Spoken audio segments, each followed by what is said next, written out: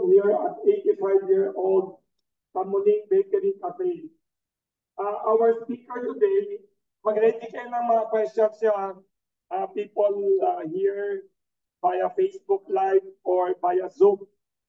Mr. Orion Perez Dumdum, our very eloquent speaker, is principal co-founder of the Correct Movement. Uh, by the way, if his face looks familiar, yung resource speaker in um, many hearings in Congress about charter change in the past several years.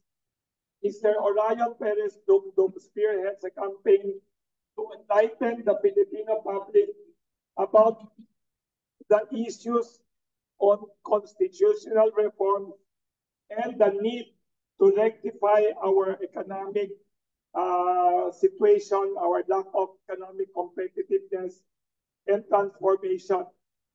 Uh, he hopes to redirect the future of the Philippines by encouraging economic competitiveness. Uh, he is an overseas Filipino worker based in Singapore. He draws inspiration from his experiences in progressive nations with uh, parliamentary systems. He has witnessed the profound and systemic impact uh, of, uh, alam niya yung lack of local and foreign investments, why it uh, results in high unemployment and other problems. Uh, he is a dynamic force in the information technology sector where he navigates systems with a blend of logic and objectivity. Uh, Orion prioritizes practical and crucial points and ideas in debates on charter change. Tinanong ko ng background niya, he said he is half Cebuano and half Tagalog and uh, grew up in Cebu City. Uh, that's why he also advocates federalism. Uh, for people who are a, little bit older content, uh, he is uh, he also became well known years ago uh, for being a standout winner uh, sa RPN 9 quiz show Battle of the Brains. Uh, tatanungin ko din sa kanya yan.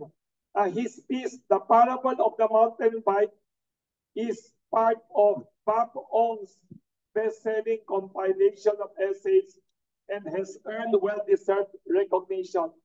Uh, ibitayin natin, let us invite Orion Perez Dumdum to make an opening statement. Afterwards, uh, let us ask uh, freely any frank or even critical questions. Sabi niya, any questions he is willing to answer. Uh, welcome, Mr. Orion Perez Dumdum. Okay. Um, maraming salamat, uh, Wilson. Thank you very much for uh, for having me here, inviting me. Thank so, you for coming back pala. yeah, second time ko na to dito. Last time, naka-zoom lang tayo, naka-zoom lang tayo. Ngayon talagang naka-live tayo dito. So, um, essentially, uh, I am pro-constitutional reform.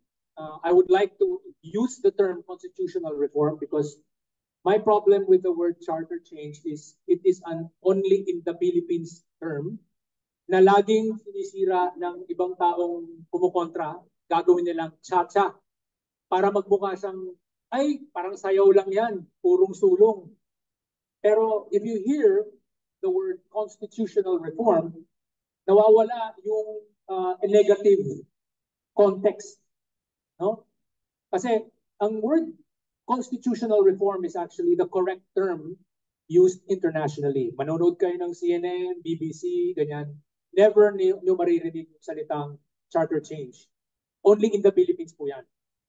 So kami po sa correct movement, we advocate, we basically advocate three main reforms. The first reform is the removal of anti-foreign direct investment restrictions in the Constitution. Why is that important? It's important because we want the Philippines to have a lot of jobs. So how do you get a lot of jobs? You allow the entry of many companies. Companies that may be from abroad, companies, even even local companies or local companies that have foreign backing, money and technology and know-how. So what we want is to do what many successful countries that used to be poor have done, which is yumaman sila dahil dati silang mahirap, yumaman sila dahil pinapasok nila ang sobrang daming foreign direct investors. Sino yung mga ganyan? Singapore po ang nag-pioneer niya dito sa, sa Asia. Nakita ni Lee Kuan Yew dati na wala sila masyadong local businessmen nung time na yon. Ang ginawa ni Lee Kuan Yew, okay, kung wala masyadong mga businessmen, at kung meron tayong businessmen, puro buy and sell lang, walang mga industrialists, let's bring in the foreign investors, let's bring in the multinational companies. Let them come in, total, mag-create naman sila ng maraming trabaho, at pag dumami ang mga trabaho, ang mga tao na dating walang trabaho, na may trabaho na ngayon, magiging nagbabayad ng buwis. At pag nagbayad sila ng buwis, ang gobyerno magkakaroon ng pera, panggawa ng mga kalye, ng mga tulay, kung ano-ano pang mga uh, hospitals, schools, mapapataas natin ang pagpasweldo ng ating mga government officials. Wawala ang corruption. Yun ang, yun ang ginawa ni Lee Kuan Yew. That's what he did in order to make Singapore the richest country in Asia in terms of GDP per capita. Okay? So bring in foreign direct investors by removing restrictions inside the Constitution that discourage them from coming in. Secondly, hindi naman po pwede, we cannot have that all of the investors or most of the investors that come, most of the companies, the multinationals that come to the Philippines will all locate themselves in Metro Manila. We want to spread them out to the rest of the country. We want them to go to region one, region two, region three, all the different regions, not just NCR. What do we need to do to make that happen? Federalism.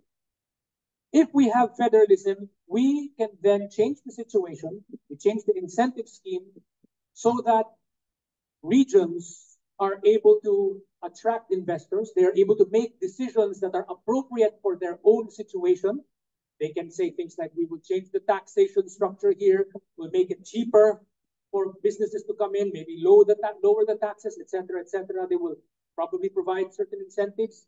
It's up to them, silang bahala. And for that reason, you have countries like Switzerland, for example, or Germany, which are federal, and as a result, their taxes are actually lower than many countries in Europe, which are unitary. Kumpara natin, Switzerland na federal versus Sweden na unitary. Sino mas maba- mataas ang ang uh, ang tax? Sino mas mababang tax? Nakikita natin na Switzerland has lower taxes in general kasi nagko-compete yung mga different cantons against each other to attract investors. Sweden, on the other hand, is unitary. So ang yun nga, it's one one policy, one size fits all. The whole of Sweden is pretty much the same way. Walang internal competition masyado. Another situation I saw with my own eyes. I used to work in Philips, Dutch company, when I was in Singapore. And um, I went, of course, to the Netherlands. And I visited a friend who lived on Kirkrade. Kirkrade is actually on the border of uh, the Netherlands and uh, and Germany. Okay? And there's one street there that, that divides them. So, yung mga tao na nandun sa Dutch side, sa Netherlands side, nagko-cross lang sila para makapag-shopping doon sa German side. Bakit? Kasi mas mura ang bilihin doon. Bakit? Kasi mas mura ang taxes sa Germany kumpara sa Netherlands. Netherlands is unitary. Germany is a Bundesrepublik, which is a federal republic. So, ganun, federalism, nagkakaroon ng internal competition yung mga regions, yung mga states or lender or cantons or sa Canada, provinces. No? Yun yung nangyayari, nagkakaroon ng kompetensya, kaya bumababa yung general taxation. General, well, maybe not in Canada because Canada is uh, has a different set of ideas. But generally speaking, many countries that are federal have lower taxes. Compare Malaysia, which is federal versus the Philippines, which is unitary. Malaysia has lower taxes than the, than the Philippines. So, if we move to a federal system, a fe- federal structure of territorial administration, we will be able to empower the different regions of the Philippines to attract investors, both local and foreign, to come to their areas. Tayong mga, katu- katulad ko, na, na, na taga Cebu, originally taga Cebu, we won't need to come to Metro Manila to find work. Yung mga probinsyano, hindi na kinakailangan magtagsaan sa Metro Manila. Pwede po tayong magkakaroon ng mga magagandang matataas na sweldo na trabaho sa ating mga sariling hometown at mga home regions natin pag nag-federalism tayo. Ngayon, naka-unitary tayo, kaya lahat nasa Metro Manila, ayan, sobra na ang traffic natin. Di po ba? So, gusto nyo maayos ang traffic? Federalism po, kinakailangan. Gusto nyo magkar mas spread out ang development sa iba't ibang parte ng Pilipinas? Mag-federalism po tayo. At huwag magpapadala sa mga fake news na ginagawa ng napakaraming mga taong may vested interests in retaining the lousy system na minadali nung ginawa siya. Alright, that's number two. Okay? Number three, we want to have good quality leadership, efficient governance, lower corruption. And to be able to do that, we need a form of government that enables this to happen. And in the research that we've done ever since, we found out with so many PhD um, authored white papers and dissertations that me and my team have gone through, kitang-kita talaga po na sobrang superior ng performance ng parliamentary system kumpara sa presidential system. So, magtatanong siguro kayo, bakit? Bakit ganyan? Akala ko ba presidential eh, may, may separation of powers para may, may check and balance. Yan ang check, yung check and balance ng sistema natin ngayon ay actually nagpa-block yung gusto natin gawin to ay block yan. Block. Yan ang ginagawa. Uh, gustong gawin ng executive, yung block ng legislative. Gusto ng legislative, pwedeng i-block o veto ng ng uh, ng executive. Hindi magandang sistema yan. Ang mas magandang sistema ng checks and balance ay yung meron sa parliamentary system na kung saan yung ruling party sa loob ng legislatura ang nagiging gobyerno. Sila yung nagiging administration. Tapos yung natalo, yung hindi ganun karaming seats pero malakas malakas pa rin sila, nagiging opposition sila. The govern the majority party forms the government, so lahat lahat ng kanilang mga ministers ay manggagaling doon sa ruling party or sa ruling bloc or coalition. At magkakaroon din ng shadow cabinet or shadow government na galing sa oposisyon. Ano ginagawa ng shadow cabinet? Yung shadow cabinet, yung po yung parang equivalent na from the other side, from the opposition side, na nakapag nagmo-monitor sa anumang ginagawa ng mga government officials, ng mga ministers. So kunyari, kung meron tayong Minister of Finance, Minister of uh, of Education, Minister of Minister for Health, Minister for Defense, etc. Meron ding shadow shadow minister for finance, shadow minister for home affairs or or internal government, meron din uh, for for health, no? Shadow shadow minister for defense, etc. At anong nangyayari?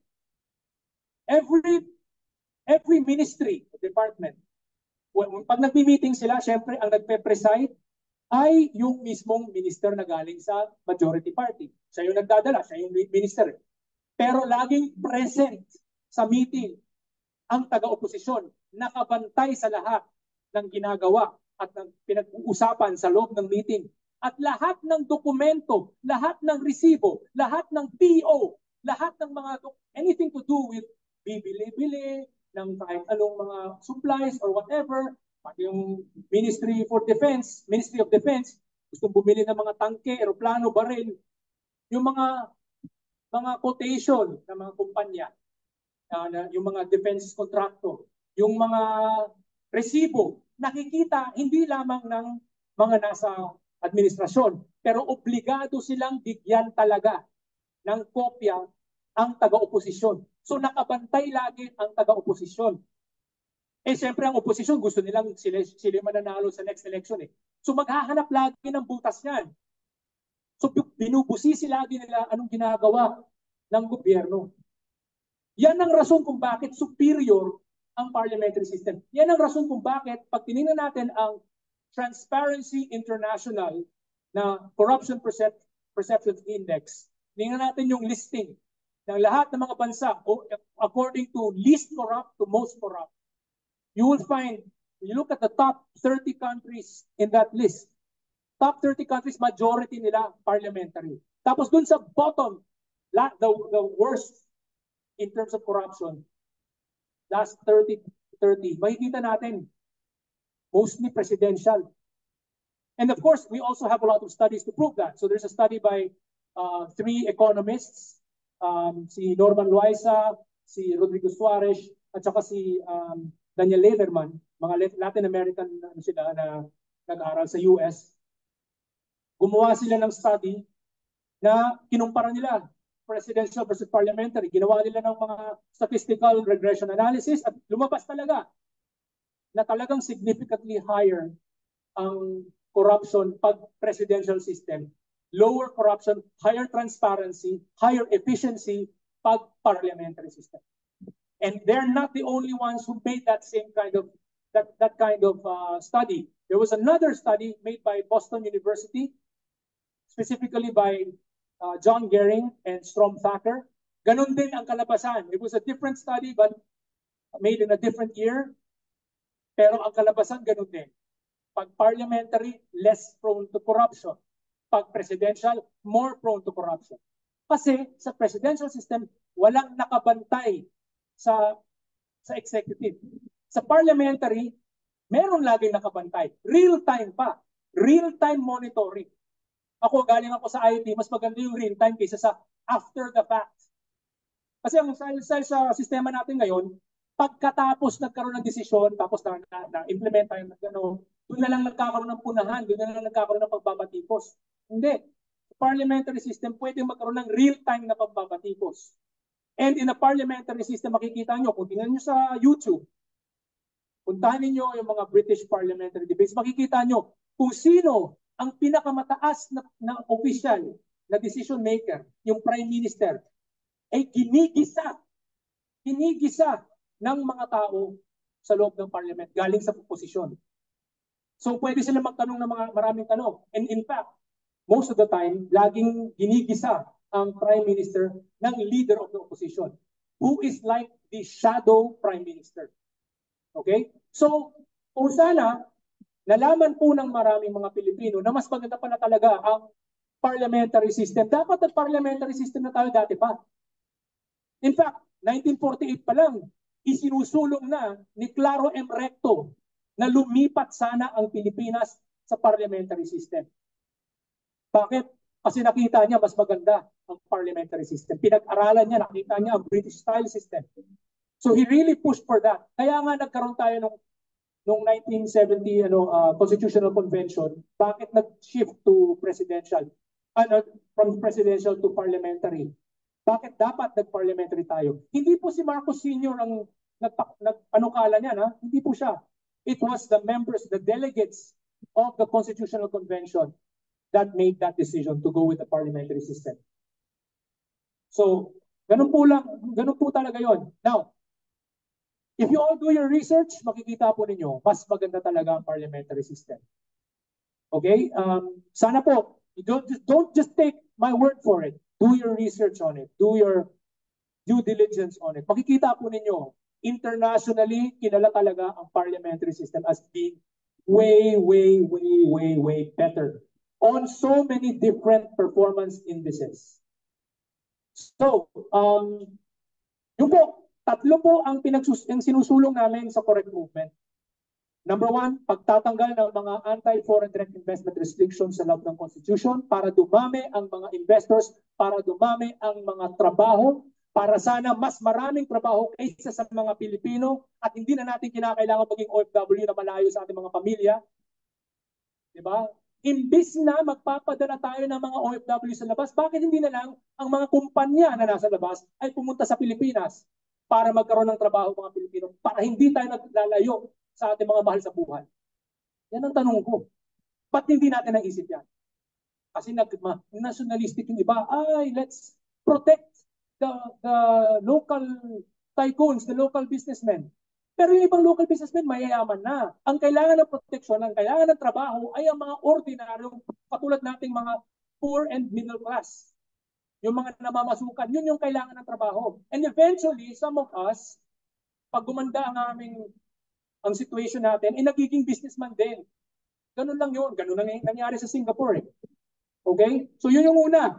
Dumami ang trabaho by removing the restrictions. Number two, para hindi lahat magsiksikan sa Metro Manila, hindi lahat ng trabaho ay nasa Metro Manila lang, mag-spread out yan, federalism. At para magkaroon ng mas magandang, eficienteng sistema, parliamentary system, hindi yung sistema na meron tayo ngayon na bulok at walang kwenta. In fact, hindi nga American system ang nagaya natin eh. Although we thought we were copying the American system, we ended up emulating the Mexican system. Bakit? Because we have the exact same term limits that Mexico has. ¿Ah?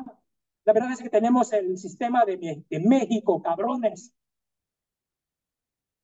Señores y señoras, la verdad es que lo que tenemos hoy en día es un sistema que no funciona.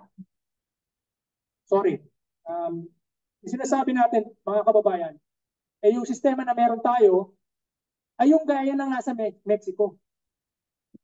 Yung, yung nasa Mexico, one-term president na six years lang din. El sexenyo ang tawag na. Sexenyo ang tawag nila sa one-term presidency na six years. Kaya nga sexenyo eh, kasi six years. Yun yung meron tayo. Kahit ang galing-galing ng Pangulo, hindi siya pwedeng tumagal sa pwesto. Hindi tayo magkakaroon ng Lee Kuan Yew sa Pilipinas na 30 years na dahil sa ang galing-galing niya, nakapag 30 years, hindi tayo magkakaroon ng ganyan dahil kinakailangan laging umalis pagkatapos kahit ang galing-galing niya. Di ba? Six years lang. Kaya ba ng mga long-term projects sa six years? Hindi. Di ba? Tapos, yung mga term, terms ng mga uh, lower officials, ganun din. Sa sa Mexico, two terms, two six-year terms lang din ang kanilang senators. Tapos, two, unlike us, three three-year terms.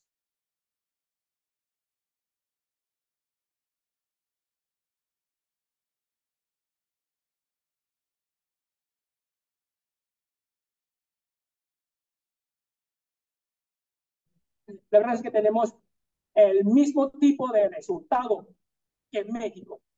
We have the same results as Mexico. Yung po mga kababayan, sana po mapag-aralan ng marami mga Pilipino kung bakit mas maganda itong mga isinusulong namin. Kami po sa Correct Movement, nasa social media kami nagsimula, 2010, late 2010. Hindi po kami, wala, kami po, ordinaryong mga tao lang kami mga OFW mostly, at mga estudyante, mga ordinary professionals. Nagsimula kami puro mga IT professionals, engineers, mga medical professionals, architects, ganun yung mga taong galing sa mga technical na trabaho. Kasi gusto namin maintindihan, bakit ganito? Mas maganda yung ganitong sistema kaysa sa ganyan sistema. Dahil ganun po yung mga trabaho namin, nag-analyze kami ng mga algorithms, nag-analyze po kami ng mga, ng mga sistema, naghahanap kami ng mga um, itong mga problema, no? mga loopholes, itong mga inefficiencies sa mga algorithm, etc. Ganyan kasi trabaho namin eh. Di ba? Nakita namin. At in, lumalabas, mas naintindihan namin kaysa, no offense, sa maraming lawyers. Maraming kumukonta sa mga constitution sa constitutional reform na to, mga lawyers. Pero marami sa mga engineers, marami sa mga IT professionals na nakakaintindi. Alam namin na mas maganda to. Mas maganda ang ganitong sistema, itong parliamentary system, mas maganda ang federalism, federalism para sa Pilipinas, at mas maganda na maging bukas tayo sa pagpasok ng mga foreign direct investors. Kasi, lalo na kaming mga OFW, nakikita namin anong nangyayari sa labas ng bansa. Nakikita namin na napag-iwanan na tayo. Ako po, sa trabaho ko dati sa Singapore, um, nagtatravel nag, nagtatravel ako, regional po yung trabaho ko as uh, project manager. Kinakailangan ko pumunta sa iba't ibang mga bansa. Nakikita ako talaga eh. At napapaiyak ako. Na dati, itong bansang to, mas mahirap kaysa sa Pilipinas. Una kong pagdating sa Singapore, nalaman ng cab driver na sinakyan ko. Eh, ah, ay, yo, yo, Filipino ah. Yes, sir, I'm a Filipino. Hey, you know, ah, uh, Philippines, ah, before, the Philippines used to be the richest country in Southeast Asia. Ganyan siya. Richest country. Singapore, Philippines used to be the richest country. Philippines used to be the richest country in Southeast Asia. Singapore, we used to be poorer than you. In fact, Hong Kong people, women from Hong Kong go to Philippines to become maid before. Now it's the other way around. Why ah? What happened? Baliktad na ngayon. Dati 1950s, maraming mga matatandang dalaga, ganyan, galing sa Hong Kong, pumupunta sa Pilipinas, nagiging maid para sa mga para sa mga mayamang mga pamilya, mga middle class na families. Ngayon, baliktad na. Dagsa-dagsaan ng mga Pilipinas sa Hong Kong at sa Singapore at iba't ibang mga bansa.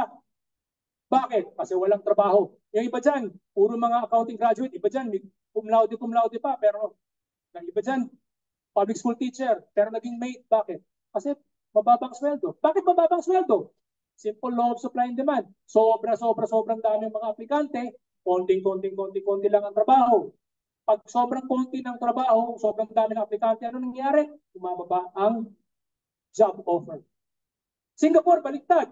Mas maraming trabaho, mas maraming job opening kaysa sa mga aplikante, kaysa sa mga citizen. Law of supply and demand, dahil mas maraming trabaho kaysa sa mga aplikante, mataas ang sweldo. Simple lang. Yun sana ang ginawa natin. Diba? So, yun lang po. Sana maintindihan po natin na itong tatlong reforma ito, gusto po namin ma-educate ang maraming mga tao. Meron po kaming website, uh, correctphilippines.org. Puntahan po ninyo yan. Marami po, marami po kami mga resources.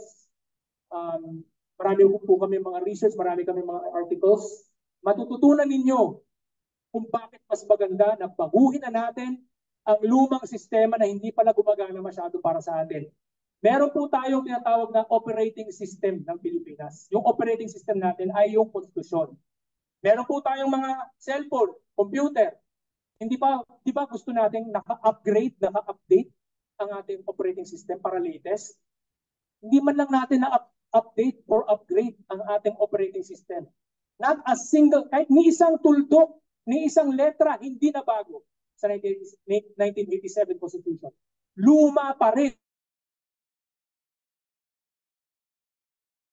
Halos lahat. Sa economic system, sa political system, sa structure of territorial administration natin, mali-mali. Kasi minadali. Four months lang gagawa ng konstitusyon. Four months lang ang pag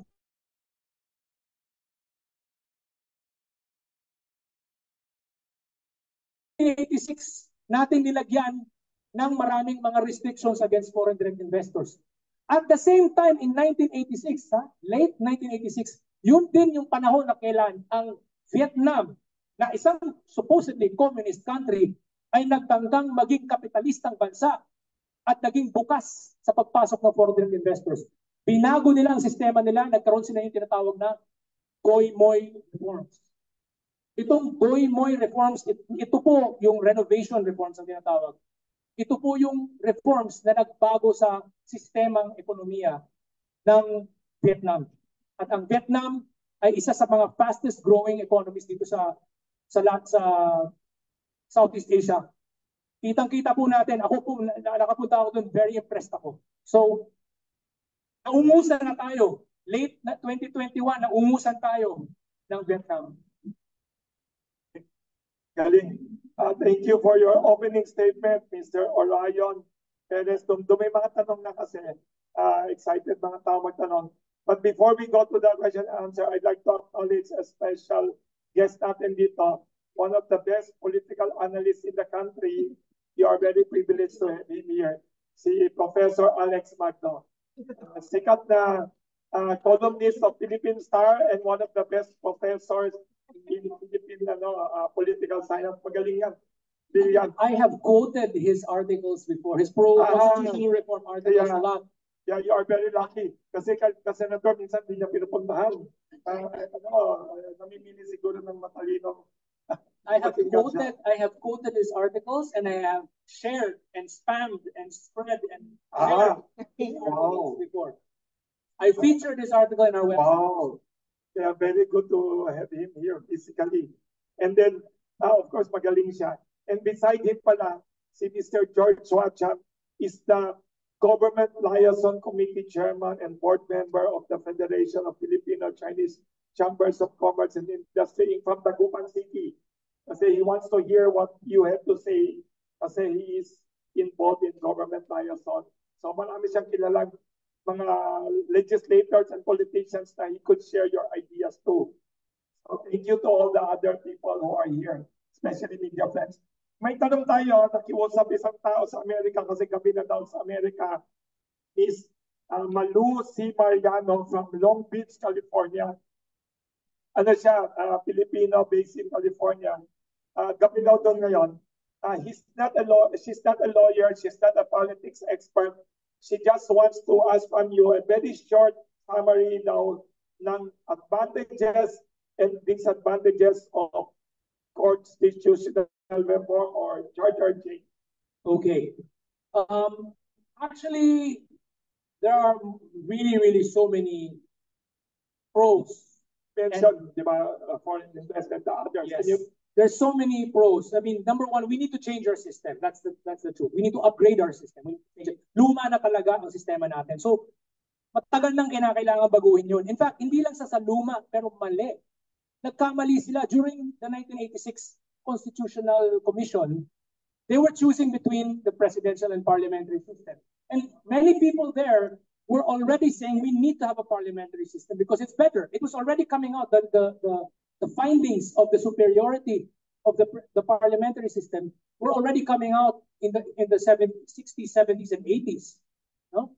But then some people there said, ay hindi kasi sanay tayo, we're used to the presidential system, so let's let's go with it. And then nagkaroon ng botohan by one vote lang. natalo by one vote One lang? vote lang. Naging presidential tayo kahit na ba mas maganda pala talaga ang parliamentary system. So yun ang, you know, ganyan, kinakailangan talagang baguhin. Sorry, may tanong din pala dito, tatlo. I forgot to, uh, sorry to interrupt you. May tatlo na tanong dito na they like your ideas now. They're listening to your idea. They like your arguments about uh, need for charter change. Ang problema, sabi nung iba, the, the controversy daw, it's because the one supposedly pushing this good idea daw is a controversial politician daw, sabi nung isa. Uh, may nagsabi nito na taga-media na si uh, allegedly Speaker Martin Romualdez na supposedly controversial. What is your comment and recommendation to the public about this?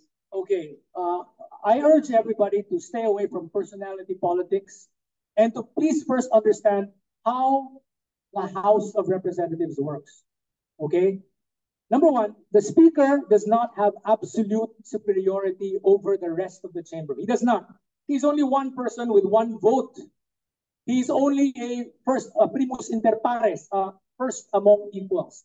So, in reality, if you really look at it, hindi naman siya talaga ang nag-push nito. Who pushed for it? Ang nag-push nito, una, last year pa, ay yung House Committee on Constitutional Am- Amendments headed by Rufus Rodriguez. And hindi lang si Rufus Rodriguez, maraming iba't ibang mga kongresista ang tumutulong dyan. Congressman Richard Gutierrez, uh, Richard Gomez, si ano si um, Stella Kimbo, si Joey Salceda, ang dami-daming si Pido Garbin, ang dami-daming mga tao tumutulong diyan. Okay, sa pag Pagtalin yung mga minention mo. oh, they were it's a collective effort in in the committee, no? And then hindi lang sa committee, nung pinasa nila, pina, pina, pinakita nila sa plenaryo, ang mga overwhelming, parang all, the whole chamber, except for seven people, voted for it. Gusto nila na magbago ang konstitusyon. Last year yun. Pero pagdating sa Senado, sa Senado, apat lang ang gusto. Si Senator Tolentino, Senator Bato, Senator uh, Bongo, at saka si Senator Robin Padilla, na kilala ko. Ah, may tanong pa ako, sorry, ah, may, may nagtatanong pa dito na people of uh, like me, not politics expert, what will prevail sa tingin mo? Kasi uh, hindi kami knowledgeable about the details. May nagsasabi, constitutional convention daw, you will elect delegates. May nagsasabi, constituent assembly. Tapos may nagsasabi, people's initiative. Can you please explain the differences and what will really happen now? Okay, What is, anong chances of what's happening now? okay. Uh, before that, I'll finish the one on the first one. So Yes. yung first one, sinasabi ko, last year pa sinusulong yan. Last year pa.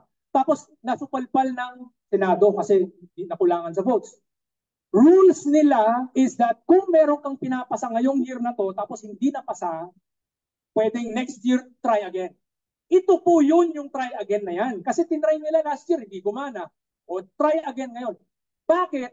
Porket nagkaroon ng kontrobersya na, hindi ninyo gusto yung taong to, hindi niyo gusto, susupalpalin ninyo yung buong panukala.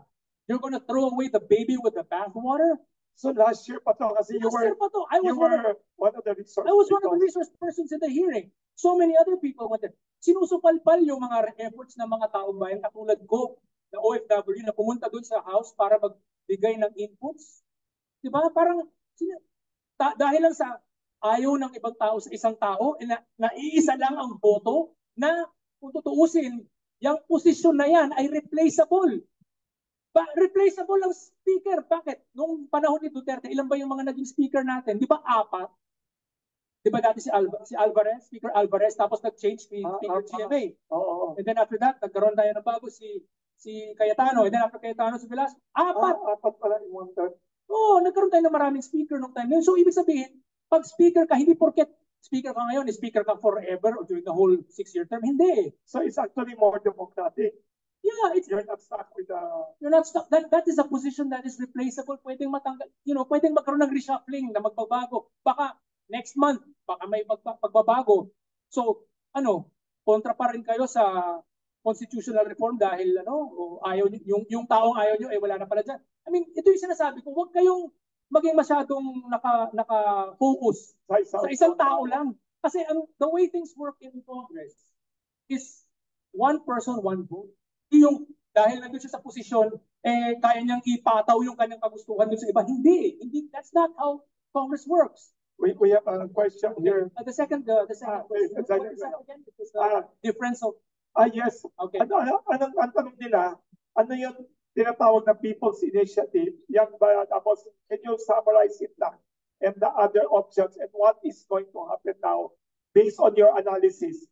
May Okay. chance ba? How do you forecast or see this Okay. report now? So according to uh, according to Article 17, there are three modes of uh, changing the constitution. The, the first one is a constituent assembly. Constituent assembly that requires a three-fourths vote of both houses. Problem is, hindi nakasulat dun sa ating constitution kung jointly or separately ba ang Ah, gagawin. So what will happen? So the people's initial wait, so that's the first one. The second one is constitu- constitutional convention. You know, constitutional convention, you will when you convene a constitutional convention, you're telling you're you're, you're basically saying, okay, we're going to call for an election where we will have ordinary people from different districts Ah, running to become delegates. And those who win, they will become delegates to the Constitutional Convention and they will give their inputs to create a new constitution. Parang kongreso, pero hindi sila congress. They're a parallel Congress. Ah, wow. Parallel Congress composed of non-congressmen. Ah, wow. Okay? Number three, Number three, People's Initiative. Yun yun yung nangyayari ngayon. yung nangyayari ngayon. Ano, Now, ano yun? Paki-explain. So People's Initiative, it, it's basically coming from ordinary people. So as we know, it's coming from PIRMA. PIRMA is the same group from the 1990s time ni President Ramos Ah, that were pushing for changes to the Constitution. Itong grupo na to matagal na silang nag, uh, nagsusulong nito. Ilang percent kailangan nilang makuha 12%. 12%. of how many? Uh, 12% of the entire Philippines, if I'm not mistaken, The voting population of the whole population. Of the voting population. The which is, I'm not sure. I don't ah, yes. So, ito, may natanong. Based on your analysis and chismis na rinrinig ko, siyempre maraming lumalabas sa balita, may chance pa mangyari itong the third option or it can be blocked by the Senate? Kasi nakita ko yung news two days ago all over the headlines. All the senators unanimously oppose this. Can they block it They, legally or they not? cannot. I'm sorry to say, senators, you cannot block it because Ah, this they is cannot coming block it. from the people. There is nothing in the constitution that says that you have the ability to block it. You cannot. This is coming from the people. I support it myself. I support it. So, So, do so many other so things. malaking chance it will push through with or without They- the Senate. They got the signatures and um, How many percent na daw ang narinig mo? 12, 12% na eh. I think Ah. they've reached it already, if I'm not mistaken. But Ah, anyway, um, for me, it's like this. The the thing about the People's Initiative is ideally it happens, then yes, it forces the Senate to be joined together with the Congress. Why? With with the ah, House. Why? Well, for the traditionally, since the 1987 Constitution, the Senate has always been blocking constitutional reform. May mga magagandang panukala galing sa Kamara, and the people from the from the House, from the lower house, are representatives of different sectors and constituencies. People from the Senate, they do not have any constituencies. They are mini presidents voted at large nationwide. So they do they do not have, unlike in the USA, where ah, senators federal. state. come from the states. Ah, Sa atin wala eh, lahat naka naka national nationwide ano eh. 'Di ba? So name recall talaga ang nangyayari. Kahit magaling ka, eh, hindi ka naman kilala, hindi ka mananalo. So yun ang nangyayari sa sistema natin.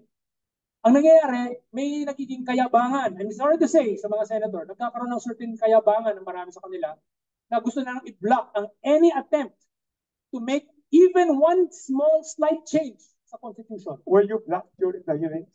Hmm? Were you blocked during the hearings? I don't I don't know. No, when you were talking sa Senate, did they nag-oppose sila? Um. Ah, hindi naman yung senators ang nagano kasi yung nasa com- ah, committee hearings mga Ah, pro, Laura. mga pro naman sila. Yes.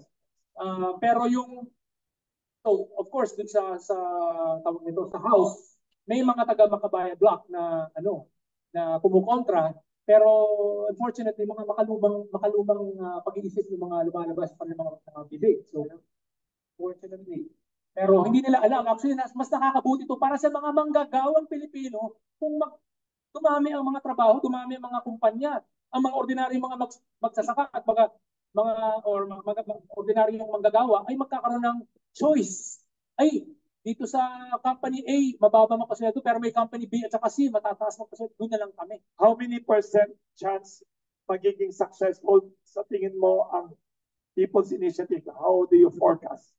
I, Some percentage. I, I'm sorry, I, I really can't, uh, But you have high hope. I have high hopes that it can push through. May deadline ba yan? May timetable? I I really don't know. I I because I'm not I'm not really connected Yes. with the people pushing for it, but There's a question here from uh, editor of Manila Aaron. Times. Uh, may microphone ka. Please state your name again for people to, yes, welcome. Yes. Okay, uh, my name is Aaron Buquilla from the Manila Times. Following uh, Red Movement for some time. And, Alam niya, ha? Napalo ko. okay, so uh, I focus mainly on the economic aspect. Although, okay, that's my uh, department. Although, yeah, I should follow the political side, no? Of course, uh, we all know many Filipinos complain about the low, cost of living, low inflation, etc. Go becoming OFW. So, uh, okay. Although I don't read it, but for the for the benefit of Brian, can you explain to them why this will help uh, make things better economically? Uh, so, th- how will this lessen OFWs and uh, help develop the country? Great, thanks, thanks for that, Aaron. So, um, it's quite simple. I, I actually explained it earlier. Na, na, na-mention ko to kanina dun sa mahaba kung pasakali. But anyway, nakwento ko, Can you summarize it? Uh, nakwento ko na ano na tawag nito. Nakwento ko na kapag if we if we if we remove the anti-foreign direct investment restrictions, we send an, a signal to the international community, the international business community, that the Philippines is serious about wanting foreign direct investors and multinational companies, global companies, and international investors to come into the Philippines. Pag, pag ginawa natin, pag tinanggal natin yung mga restrictions na yan, parang sinasabi natin, parang ina-announce natin sa buong mundo, we are open for business. We welcome you totally. Ganun ang nangyayari. We're, we're welcoming you. Pag dumating yung mga foreign investors na yan, pag-create sila ng mga jobs, they will set up businesses, they will set up offices, they will set up factories. And then, Doon pa lang sa paggagawa ng mga pabrika, magdadami yung mga construction projects. Doon pa lang sa pagkatapos ng construction projects, mag-hire sila ng mga empleyado. So, kung maraming mga trabaho, magle-lessen yung unemployment problems natin. Eventually, ang gusto natin mangyari is dumami ng dumami ng dumami ang mga trabaho such that mas maraming trabaho, mas maraming job opening kaysa sa mga manggagawa at mga taong naghahanap ng trabaho para magkaroon ng choices. Makakapagpili ang ordinaryong manggagawa na kung eh, sinestress ako nitong kumpanya ko eh, dun sa ikapila, mas mataas ang sweldo, mas less ang stress, lilipat ako. Ngayon, maraming tao walang choice na lumipat, titiisin na lang nila kasi kung umalis sila sa trabaho, wala silang makukuha trabaho. Pero kung ang daming mga job openings, ikaw, kampante ka na sa, sa umaga, nag-resign ka, sa hapon may mahahanap kang bagong trabaho kasi ang daming openings. Di ba? Yun ang nangyayari sa mga katulad ng Singapore. Mas maraming trabaho kaysa sa mga citizens nila. Yun ang gusto natin mangyari. And that will help the economy because of the law of supply and demand. When there are more jobs than job seekers, tumataas ang sweldo dahil nagkakaroon ng competition ang mga kumpanya. Ay, dito na lang kayo sa amin magtrabaho, wag doon. Mas mataas kami magpasweldo. Blah, blah, blah. So, totoo ba, we are more communistic in our foreign policies, ah, no, foreign investment policies than a supposedly communist country like Vietnam and China. Yes, unfortunately. Mas communistic to, Mas communistic tayo. Actually, itong China and uh, Vietnam, no? More open to foreign more investment. open to foreign investors. I mean, ito, itong si uh, Tong Xiaoping, dating uh, ni- uh, November of 1978, bumisita yan sa Singapore. Tapos, na-impress siya. Bakit ang daming mga trabaho? Totoo ba 100% pwede mga pabrika sa China and Vietnam? Well, to, be, to begin with, in China and in Vietnam, wala silang economic restrictions sa loob ng kanilang constitution. Walang 60-40 Walang requirement. 60-40 sa kanilang constitution. magpabrika ka, mag-hire ka ng Pwede, tao. pwede. I mean, they also have some restrictions also. However, whatever restrictions they have, nasa legislation lang. Wala sa constitution. Hindi forever. Hindi, they can tweak it. Yeah. Tayo kasi sa Pilipinas, sa kayabangan natin dati or sa siguro sa pagiging sobrang praning natin, linagay natin sa ating konstitusyon yung mga restrictions. Eh ngayon, hindi natin mabago. Hindi natin mabago. Ito ha, kung ikaw ay madalas kang nagsisipilyo, di ba? Every meal, magsisipilyo ka. Saan mo ilalagay ang sipilyo? Sa loob ng, ah, dun sa, sa harap lang ng, ano, ng, ng, ng basin? Kumbaga, nandyan lang, para ready ka, sisipilyo ka agad, sisipilyo ka. Or, ilalagay mo sa loob ng safe mo. Ah, ha? Tapos yung safe mo, yung safe mo ha, yung hindi lang sa gaganyan-ganyanin mo, meron pang mata, meron pang ah, fingerprint, tapos meron pang five minutes na hintay bago mo bago sa bubukas. Ah, Y- yun yung punto ko. magandang analogy. Kada kada gamit mo ng sipilyo mo, pupunta ka sa safe mo. Hindi, naka-ready dapat yan, na nandyan, pahanda kasi gagamit ka eh. Eh dito, ang laws natin dapat dynamic kapag kapag economics dapat dynamic. Huwag mong ilalagay sa konstitusyon. Tayo lang ang siraulong naglagay ng ganyan sa loob ng ating saligang batas. Tayo lang. Tayo lang. Kaya pagdating sa UNCTAD rankings, tayo po ang third in the world in terms of restrictiveness against foreign direct investors. In Asia, we are the worst. Uh, uh, East Asia, we are the worst. In Southeast Asia, we are the worst. So, huwag kayong magtataka bakit ang Pilipinas napaka-dependent sa pagpapadala ng mga OFW sa iba't ibang bansa. Tapos ang mga OFW natin, na mga gra- graduates, mga ano, may maganda sanang ano, engineer ganyan, nagiging maid, nagiging construction worker lang. 'Di ba? Na, tapos naaabuso pa. Hindi pa ba hindi ba dapat sapat na wake up call 'yan yung mga pag may kabaong na dumarating dahil na abuso na ano? 'Di ba? That should long ago pa dapat dapat nakita natin yan eh, na hindi magandang situation to yung nagpapadala tayo ng mga ordinaryong Pilipino na maging OFW sa ibang bansa in huge droves when it's better to bring in investors from abroad to come to the Philippines to create jobs. But, you. di ba? May, may, may tanong pa dito uh, in reaction to both of you. Ano daw reaction ng speaker, sabi ng isang journalist, to the Senate manifesto abandoning the resolution of both houses RBF 6. Paki-explain anong tanong ito, anong RBF 6? And their rejection of PI. Do you consider this a major setback for your long time advocacy? Uh, tanong ito by uh, journalists watching us via Zoom. Okay, okay. Paki-explain ano yung sinasabi niya RB at 6, di pala pa.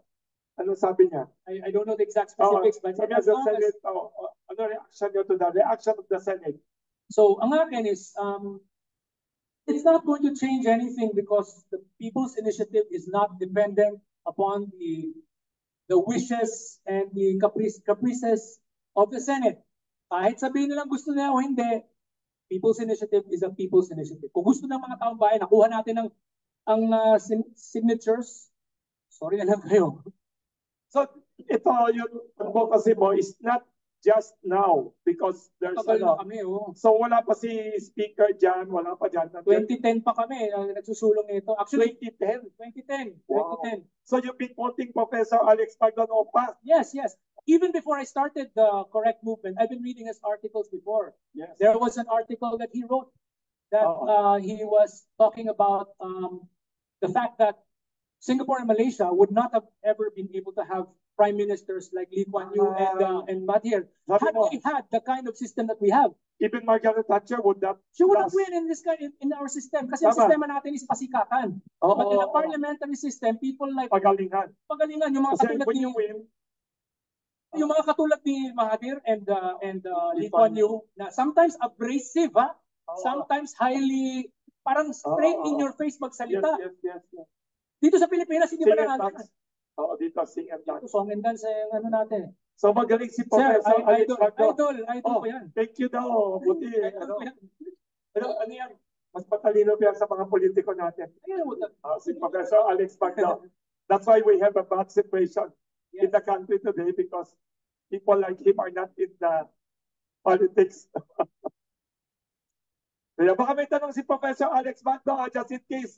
Baka may tanong na you'd like your your your disciple, your ano ha, your follower. Protege. Oh, protege, your protege. Ah, may follow up siya. Sige, sige, sige. Pag-follow up lang. Ayan din, oh. Ayan ang protege mo. Gansan lang. ah. Gansan protege ni Professor Alex Magdo yan. Okay, so I just uh, covered the economic side, now the political side. So, okay, you notice the problem is uh, every time the initiatives is blocked, usually their excuse is, okay, they often play the moral card. No? But that's pro- another problem. They're not so keen on the parliamentary system. Like you said, they don't like the person, either the one pushing for this or should be having. They don't want this person to be the head of government simply because they don't like that person, you know? So I think that they're under the impression or they're looking at the parliamentary system from a, from the lens of a presidential system. So they seem to think that a prime minister is like a president. So I think uh, they need to be enlightened why the parliamentary system is different and it should not be viewed from that same uh, prism. Uh, okay, this much. I like it. I don't think it's your standard. So, better, uh, Oh, thank you for your interesting question. Oh, Was ano your question? reaction mo? Ah, yeah, that question. Yeah, ideas. What was yeah. your question? What, make, okay, I simply put, what makes the parliamentary system better than the presidential system? Okay. Because owing to the personalities, and why nobody likes parliamentary because uh, they just don't like the person. Yeah. But like the person pushing It's for it stable. out. Out. Okay. So why is the parliamentary system better? Because unlike the presidential system, which is a very personality-oriented system, when when you campaign in a presidential system, particularly when when you are running for president, you will hear people not say the word we. People who are candidates, they will say I. I plan to do this. I plan to do that. You don't hear them say we because they don't talk about their parties. They talk about themselves. Ah, But in a parliamentary system, basically, party it's, system. it's a party-based system. And every person is actually not indispensable. Even the leader of the party can be changed anytime. So they Ah. always talk in a collective collegial way. They say, we, we plan to do this. Our party plans to do this. Hindi sila ganyan magsalita na ako, ako, ako. Hindi. And so there is more of a better party system dynamics May platform. may platform based nag nag they they differentiate each other. Yung mga parties pag pag may general election, they will say mas magaling kami diyan kasi ito ang mga gusto naming gawin. Hindi na uubos ang members ng partido every term. Tama Hindi mangyayari yan. Nangyayari yan dahil meron tayong presidential system na nakaseparate ang president from the executive from the legislature, which is a Ah, totally separate body. And then we created, in the Philippines, we created the Countrywide Development Fund, which later became the PDAP. We created that as a stopgap measure Which is pre- panel. the pork barrel. We created that system to prevent gridlock from happening during the time of Cory Aquino. Because during the time, ang daming bangayan ng executive at saka legislative eh. At dahil doon, nagkakaroon tayo ng mga coup. Ah, so they decided, ay, ayusin natin to. Gawan natin ng legal na paraan para mabili natin ang ang loyalty ng legislatura. Ayan, meron tayong pera pam, para maakit natin sila on our side, para mag-agree sila sa mga proyekto ng executive. Ang Na-mention yung mga co. So pag parliamentary tayo, chances of an EDSA-EDSA will be less. Yes, according so number one, uh, according to the work of Dr. Juan Lintz, no, uh, the, the late Dr. Juan Lintz, he actually showed that uh, there's more demo- breakdowns in the democratic process in presidential systems than in parliamentary systems. So in Ah. parliamentary systems, there is a mechanism for getting rid of a leader who has lost confidence, who not doing the right thing, ganun, nagkakaroon ng bangayan all the time. Okay, hindi, hindi, hindi na ito gumagana, sige, alisin na lang natin siya. But in a presidential system, walang You're ganyan. stuck. You're stuck. You're stuck with this person. So ang nangyayari, nagkakaroon ng impetus yung outside forces na mag-set up ng coup d'etat. No, destabilization. Yes. That's why you end up having more coup d'etats in presidential systems than in parliamentary systems. Kaya pala ang maraming mga banana republic, puro presidential system Yung mga Latin sa Latin America. America. Eh, Yun. tayo exporter ng banana. Naging banana republic talaga tayo. So very interesting. Ang, ang magaling, magaling itong disciple niya, Professor Alex Magdo. Marami natutunan from your columns. Hindi, marami siyang research. Baka may tanong or comment si Professor Alex Magdo just in case. Any questions or not? Uh, fan ninyo, ito, brilliant person to ha, nanalo sa Battle of the Brains. Kaya kung bilib siya sa inyo, matalino kayo.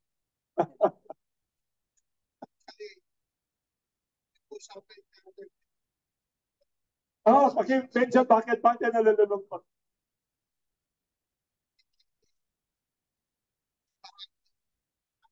Ah, wow, 1998 pa, oh.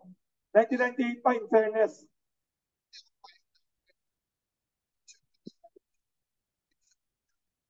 Wow.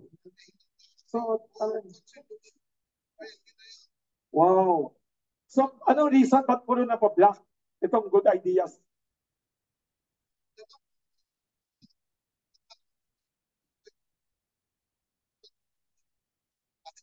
Ah, Catholic Church. Lagi. Ah, yun ang takot nila, divorce law. Oh, by the way, we are the only country in the world na walang divorce law. Even Italy mayroon. Grabe. Ang galing. Dalawa. Wow. So, ano reaction? Anong any comment or any question you'd like to give uh, Professor Alex Pagno? Yes. Yes.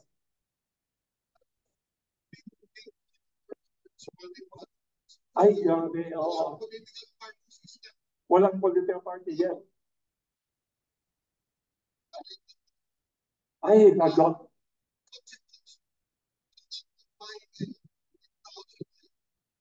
Wow, narinig mo? Vote buying will be very expensive na. Money politics na.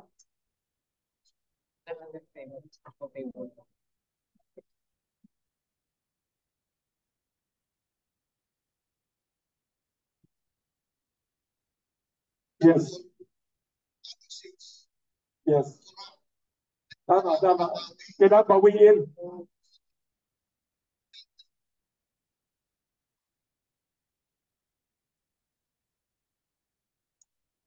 Wow, galing ng analysis. So tama. There's a big problem. I mean, That's what will happen. Yes. Kung hindi natin baguhin yung sistema, yun talaga yung trajectory natin. and Yeah, yung trajectory natin.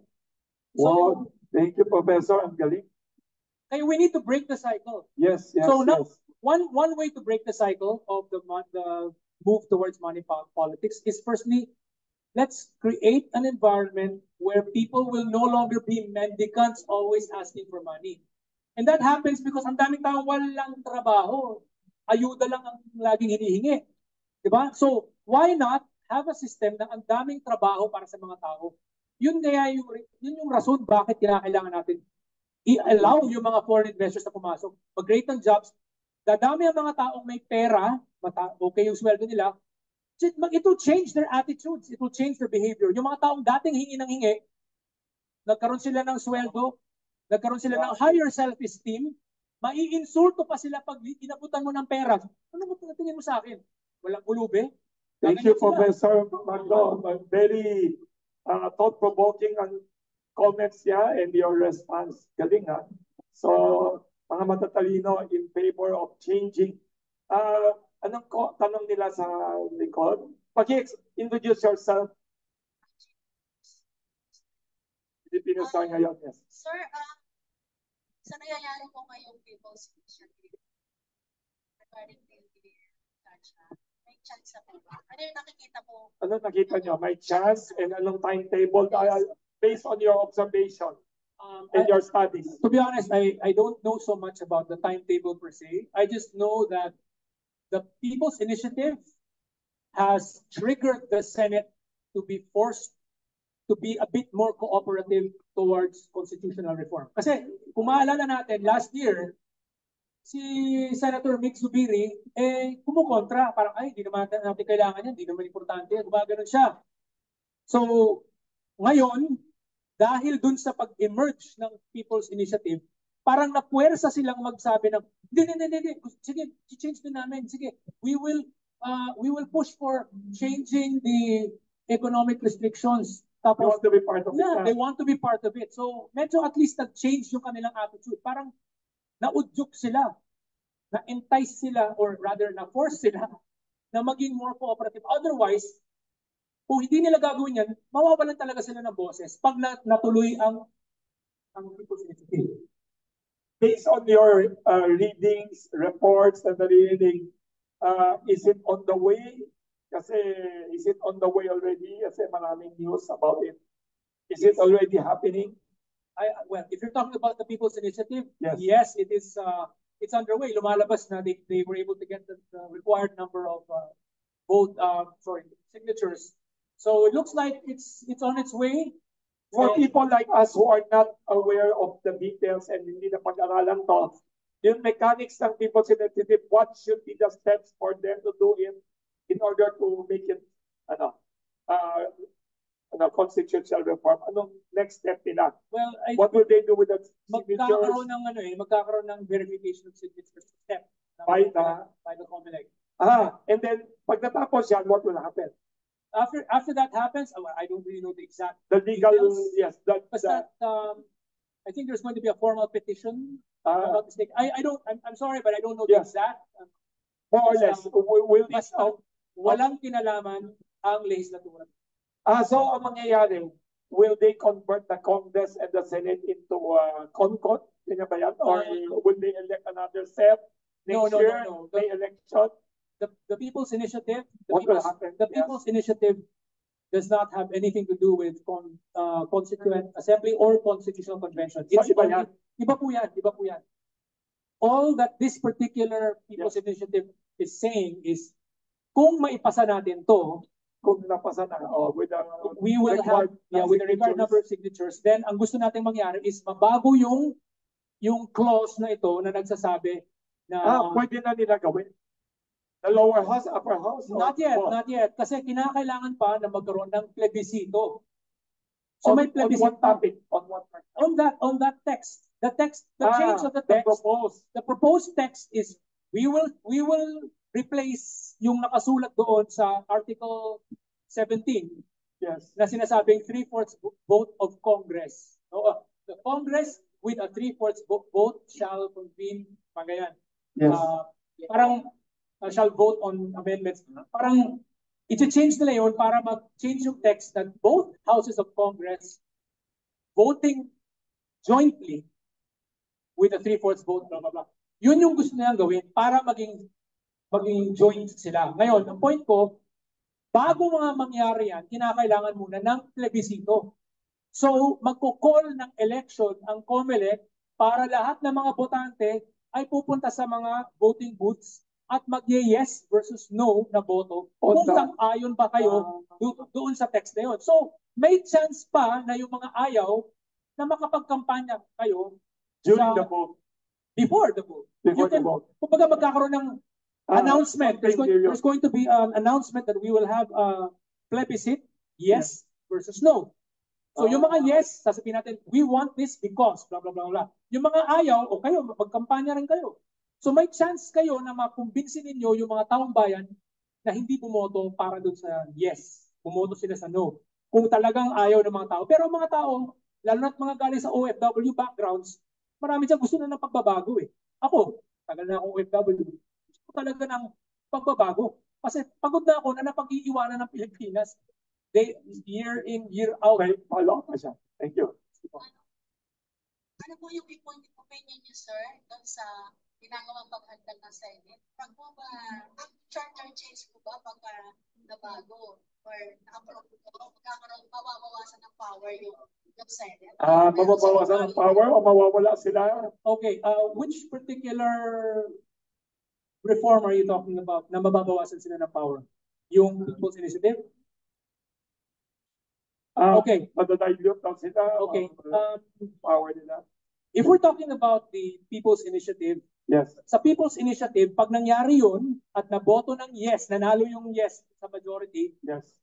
for the what do you call this for the reforms requiring uh, constituent assembly yes madadilute yung votes ng Senate pero sa lahat ng ibang bagay as per normal pa rin as per normal pa rin doon lamang sa pag pagbabago ng konstitusyon mawawalan sila ng Say. ng say. Pero, yun nga yung sinasabi natin. May, ka- may kakayahan din sila na magsabi, hindi, hindi, hindi. Let's go with the constitu- constitutional convention na lang. So pwede sila magkampanya before that. They can, they can, they can. Hindi naman hindi naman porket may people's initiative mo, wala na kayo ng ano, eh, ng saysay ng ah, ng power. Magkakaroon pa rin ng plebisito. Ang plebisito, yun yung final say. Pag nanalo ang yes, doon lang mangyayari yon. Pag nanalo yung no, edi walang nangyari. Lahat ng mga modes of changing the constitution, be it people's initiative, constituent assembly, or constitutional convention, lahat yan kinakailangan ng plebisito. So wag po kayo nagpapadala sa fake news na, ay, pag ginawa nila yan, mawawala tao. No! The people still have the final say. Ang mga botante, may kakayahang mag-veto ng anumang mga panukalang reforma sa konstitusyon. May abilidad tayo na magsabi, ay, ayaw namin yan. No. Pwede. Sorry, may nagtanong dito, nan- nanonood via Facebook Live. Ah, may nagtatanong si Jeremy pangalan niya. Your opinion on full ownership daw ng mga dayuhan sa Constitution, di kaya manganib ang mga agricultural lands natin kapag dayuhan na ang nagmamayari ng mga to, mailagay pa sa alanganin ang food security po natin. Jeremy, may tanong siya. Okay, magandang question yan. Unang-una, Yes. madalas nangyayari pag pinag-uusapan yung allowing foreign direct investors to come into the Philippines, laging kino-confuse ng mga taong kontra sa reforma na sasabihin nila, ay, yung lupa, lupa, lupa, lupa, eh, maapektuhan, apektuhan, apektuhan. Eh, hindi naman natin pinag-uusapan ng lupa. Ang pinag-uusapan natin ay negosyo. Iba po ang negosyo sa lupa. Hindi po pareho ang lupa at negosyo. Pag sinabi natin, we want foreign investors to come in and set up businesses, hindi naman iba, hindi naman pareho yan sa we want them to come here and own land. Pagkaibang usapan po yan. So, may, be sure to separate the two in the, the two situations. Owning businesses is different from owning land. Ngayon, even if even if we we allow land ownership by foreigners, we can always create safeguard safeguarding legislation that will prevent ownership of land by undesirable people. We can also set up limits to how big their land uh, their land acquisitions can be. We can learn from countries like Malaysia who do allow foreign invest foreigners to own land. However, meron silang special safeguards sa Malaysia.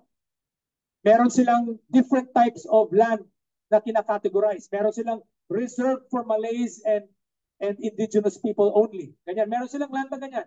And then other land na pwede. So yung mga foreigner, hindi pwedeng maging may-ari ng lupa na considered on, uh, only reserved for Malays and indigenous people. Even Vietnam and China, may mga... They have that too, yes. Uh, dun sa Malaysia, they, they do allow foreigners to own land. Those land that is allowed to be owned by foreigners, hindi pwedeng maging may hindi pwedeng bumili ng lupa na less than 1 million ringgit. Dito sa Pilipinas, kung mag-allow tayo ng foreign ownership of land, pwede tayong gumawa ng special law na sinasabi, pwede kang As a foreigner, you can own land kung ang asawa mo ay Pilipina. Number one, we can do that. Tapos ito ang size na pwede. May size. Anything bigger than that, sorry, hindi pwede. Pwede, we can do that also na foreigner ka, tapos yung anak mo ay Filipino citizen. So meron kang anak, siguro na byudo, tapos yung Pilipinang babae siguro wala na. Pero may anak siya na Pilipino, pwede. We can make laws like that. We can also make laws that say we can make we can be flexible and create legislation that will safeguard the rights of Filipinos para hindi kahit sinong Tom, Dick, and Harry dyan na foreigner ay magiging may-ari ng maraming lupain. Pwede tayong gumawa ng limits. Pwede tayong magsabi hanggang residential area lang na um, size of a mansion. Yun lang. Hindi pwedeng hacienda. Hindi pwede. Pwede tayong gumawa ng ganyan klaseng batas. Hindi porket mag-aalaw tayo ng land, eh, ang buong Pilipinas ang magiging pagmamayari ng mga dayuhan. Hindi po nangyayari yan. Pwede tayong gumawa ng safeguards. May tanong pa dito, sorry. Uh, may natanong dito, ano, ano, uh, should that constitutional change be wholesale or piecemeal? Anong opinion mo daw? Isa-isa bang maliliit o buong constitution ng big change? If you ask me, uh, I would prefer a total overhaul of the, uh, that's what I, that's my preference, a total overhaul of the 1987 Constitution because it is, kumbaga kung, kung sa programming pa yan ng operating system, it's very buggy. It's very buggy. Ang daming bugs. Yung know, makiklik ka hindi gumana. O, click ka dito, naghang. Ganyan. Yan nangyayari sa... Total upgrade. Total replacement. Total replacement. Kasi minadali nga eh. Mali yung pagkagawa. Bakit minamadali? Four months.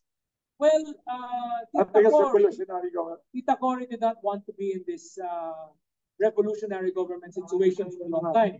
So, pinilit, sinabihan niya na, hoy, uh, bilisan nyo para hindi tayo na maakusa na nandito tayo sa parang dictatorial style. So, bilisan nyo.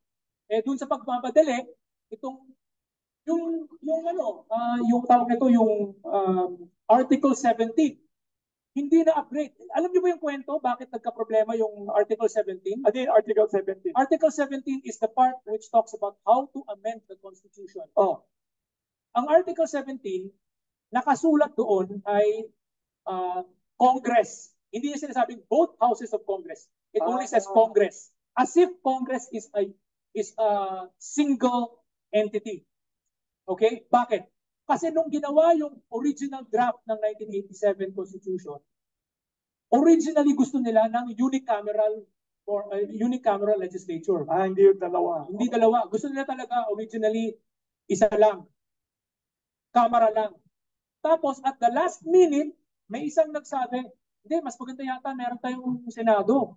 So, gawa tayo ng Senado. Tapos at the last minute, nagmadali sila na in, you know, in-update nila yung mga clauses on structure, pero nakalimutan nilang baguhin yung clauses ng Article 17. Kaya yung ambiguity ng Article 17 ay nandyan pa rin. So nakasulat dyan, Congress may with a three-fourths vote. Hindi sinabing both houses of Congress. If you compare the U.S. Constitution, it says both houses of Congress. But if you look at the Philippine Constitution of 1987, it only says Congress. So, as if, ano, ah, isa lang house yan? Ganon. May appeal ka ba to the senators now what they should be reacting or doing to these people's initiatives? curious. May nagtanong dito. Mga mahal na senador, parang awa nyo na sa aming mga OFW, sa aming mga ordinaryong Pilipino. Baguhin na po natin ang saligang batas. Please, wag po kayong huma- humarang, wag po kayong maging sagabal sa pagbabago at pag-update at pag-upgrade or pag-replace ng palpak na sistema natin. Kasi kita naman po natin ang resulta ng Pilipinas dahil sa sistema natin palpak, baguhin na po natin. Please lang, coming from an OFW IT professional na galing sa Singapore. Yun po. May, may nagtanong pa dito, sorry, may nagtanong pa dito. What is your reading of the President Bongbong Marcos stance on this issue? Hindi pa siya masyadong vocal ano, o may, Well, so, may comment pa siya? Will he have a role? May role He siya? does not have a role to play, but I Legally hear, I, I know that there was a recent um, statement made where he said, kailangan na natin baguhin at least man lang yung economic restrictions tanggalin or at least man lang i-soften or i-loosen. So I think that's a good sign. Um, it's a good sign that, you know, magkakaroon ng pagbabago dito kasi it looks like the president himself now thinks na, I think time it's now time to fix it. Yes, ma'am. Ah, yes, yes. May bilang po. Yung 12, yung 12% eh, pag na umabot dun sa 12%, Automatic na yun. yun, automatic na yun. Ano. So ngayon, titingnan kung ano, ano ba to? Totoo ba to? Baka finorge lang. Ano ba to? Ah, i-verify. I-verify yung mga signatures. May nagtanong dito, sorry, ah, may nagtanong dito sa media. Naalala daw niya, noong panahon ni Noynoy Aquino as president daw, si Senate President Juan Ponce Enrique was for charter change of the provisions. Even the president of the Liberal Party, Yes. uh, Speaker Sani Belmonte, Belmonte, yes. uh, told me personally he, he was for it. What happened? And they both, they both, What happened? the Senate President Enrile at the time and And Speaker Belmonte. Belmonte both went to Times Street to visit him personally. What happened? Well, he doesn't want to change his Ano constitution. Ayaw niya, ayaw niya. And then, emotional attachment. emotional attachment. Emotional attachment. Ano this a deep, uh, logical? No logic whatsoever, just emotional attachment. That's unfortunate. How was he able to stop the two of them powerful? Yan, wala talaga. We have a we have a political system na too strong ng presidente. Is it correct? Yes. Abnormally strong ng presidente. Abnormally strong. The, the president has the ability to use the purse strings, basically to say, well, I can withdraw your funding, you know, if you don't, if this is what I want, tapos gusto nyo gumawa ng sarili nyo, I can withdraw funding from Too That's- strong ang presidente. that we have a hyper presidentialist system in the Philippines. Na parang sultan. Absolute monarch. Like parang an absolute, yeah, like an So monarch. strong na imbalance. Uh, so, totoo yan. The two of them went there. They They want went- charter change. Pumunta sila sa sa Times Street nung isang Sunday. Ah, tapos ano nangyari? Sa Sunday. Pa sila. Ang lumabas, hindi nila na sinabi kung ano talaga yung pinag-usapan, pero Yeah, we no. understand this position, parang gumanon sila. That's all. Ah, Kitang-kita na ayaw talaga ng... uh, So even the most intelligent politician at that time, kahit na ano sabihin nila, they were for it. Or- I mean, Senate Most- President yun ah. people who've gone through, you know, a lot of history will feel talagang walang kwenta ang sistema eh. Ay, may tanong, sorry, sorry. Uh, May tanong pa dito, yes. For- Yes. uh, I have two questions for you. Uh, uh, do you think constitutional reform is necessary to make economy grow uh, instead of uh, revising yung ilang mga laws natin, uh, particularly the Trade Liberalization Act, Foreign Investment Act, and Public Service, which is doon po, di ba, naka-indicate kung ilang percent lang yung maaaring uh, ariin ng mga foreign. So, you think uh, reform is necessary instead of uh, revising na lang yung ilang mga laws natin? Revising legislation is not enough because the Constitution is very loud in sending a signal to the international community that we don't want foreign investors to come in. It's it's like it's like this eh. Parang may sarili kang meron kang restaurant. Tapos sinasabi mo, "Uy, mga tao, punta kayo dito sa amin. Punta kayo dito. We want you." Tapos may malaking sign na nakasabi. May malaking sign ha sa labas.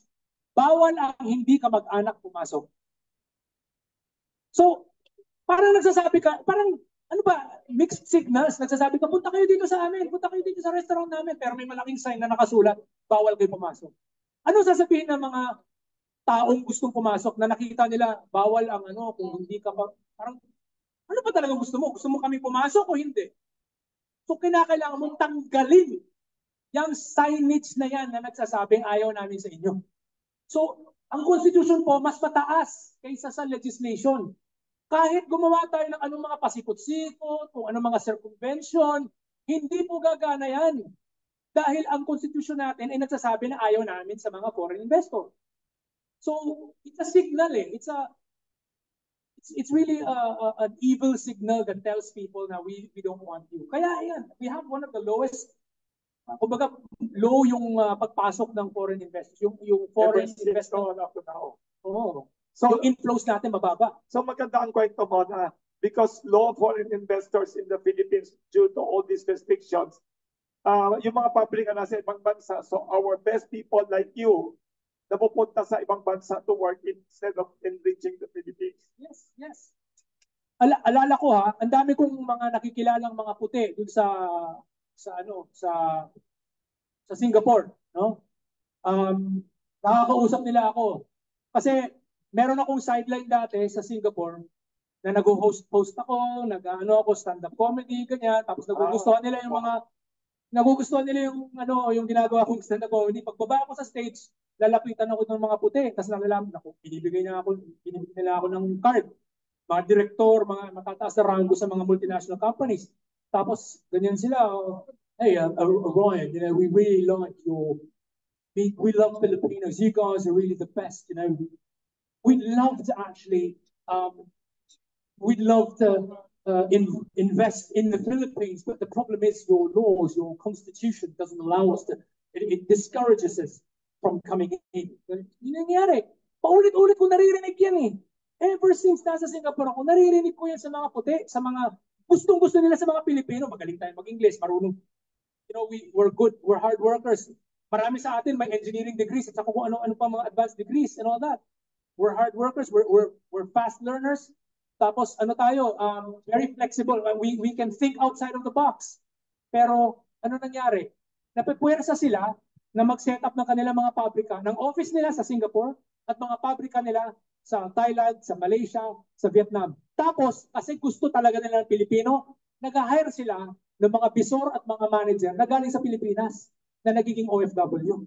Yun ang nangyayari. Na either malayo sa pamilya or paminsan, talagang gusto nila, kukunin nila yung buong pamilya gagawing expat doon sa Vietnam or sa Malaysia. And anong nangyayari?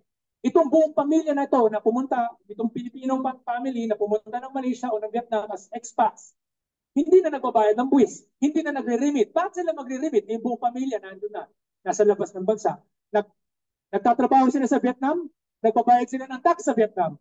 O, hindi nakikinabang ang Pilipinas. Pero kung in, instead of sending Filipinos abroad, pumunta sila sa Pilipinas, yung mga taong empleyado ng mga multinational na to, eh magbabayad sila ng buwis. Ang mga multinational companies din, magbabayad din ng buwis.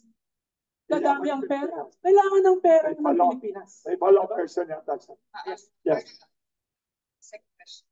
Uh, in terms of security, uh, sa tingin niyo po, this will still prevent yung uh, ating security base, knowing na kung ma-aprobahan natin, kung ma-revise or ma-amend yung constitution, economic provisions, constitution, uh, knowing na 100%, hindi, hindi po ba sa tingin ninyo ay mas malaki yung security risk ng Pilipinas since uh, may mga issues tayo with uh, NGCP, uh, illegal foreign businesses. So, So, one of the things we need to first look at is number one, no other country puts restrictions against ownership of, of businesses by foreigners in the constitution. Tayo lang.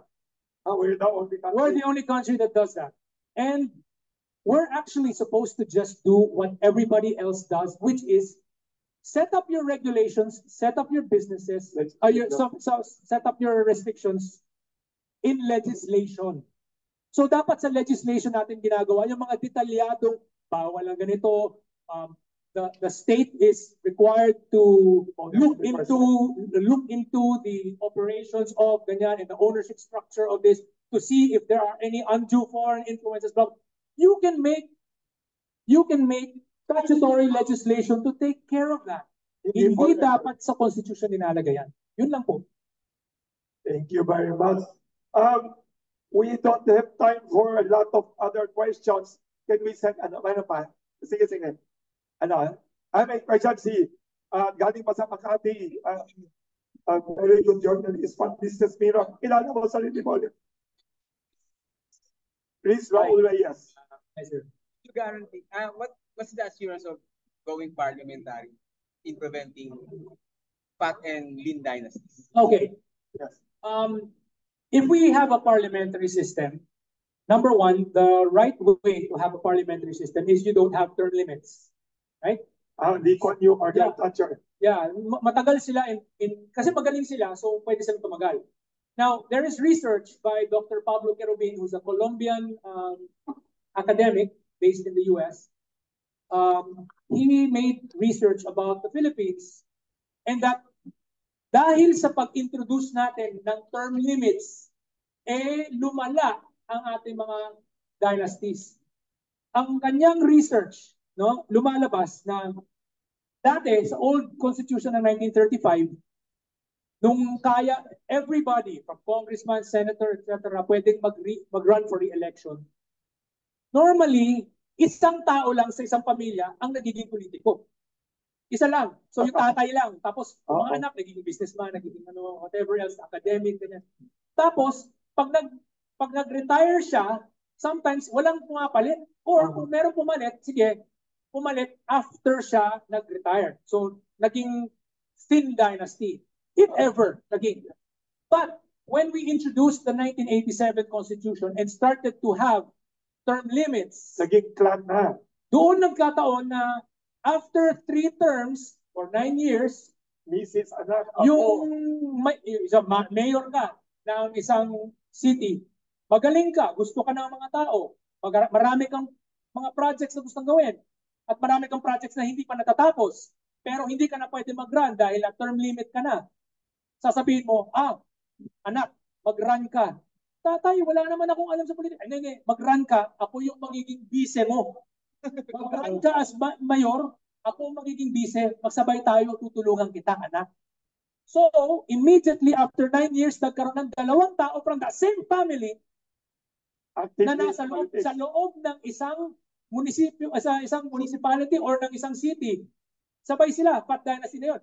And then another 18 years, nagkaroon ng pangatlong tao, nag-a-add ng nag-a-add.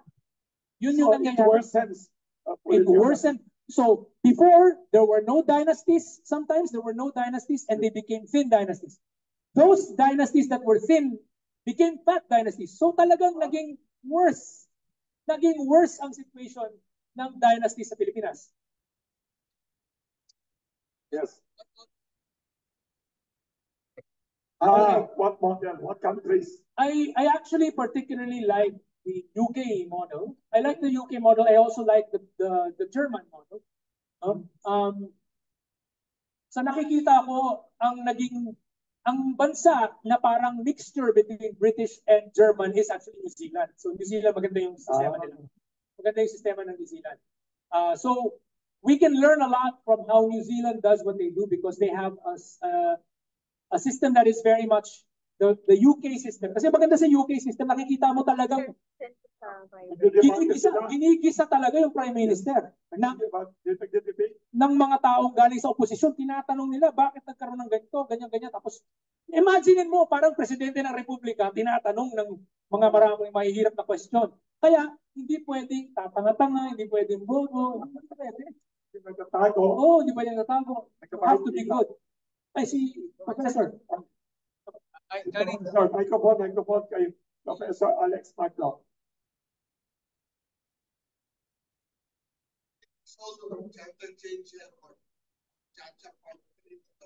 Jaja Party na, oo nga. Oh.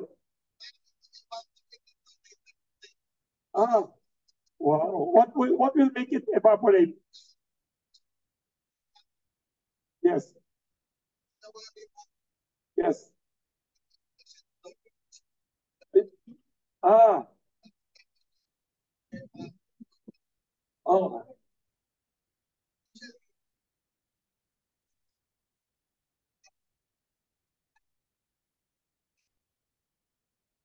Ayaw niya magulo. Oo.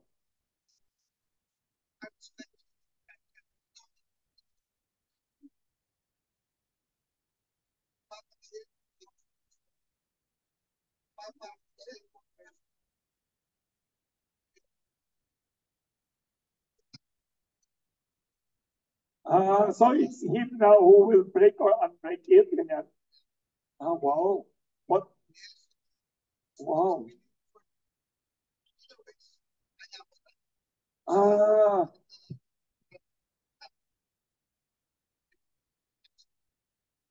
So there's a danger it might end up like the other two attempts. What is your reaction and recommendation? Na, maga, magaling na sinabi ni Professor, di ko alam yan ha. Ako, hindi ko rin alam yan. Yes, Yung what is your lang, recommendation? ang akin lang sana talaga patuloy pa rin. And this is like our last chance. Kasi kung, Yes. I mean, honestly, honestly speaking, as an OFW, long time OFW, there's no, there's no place like home.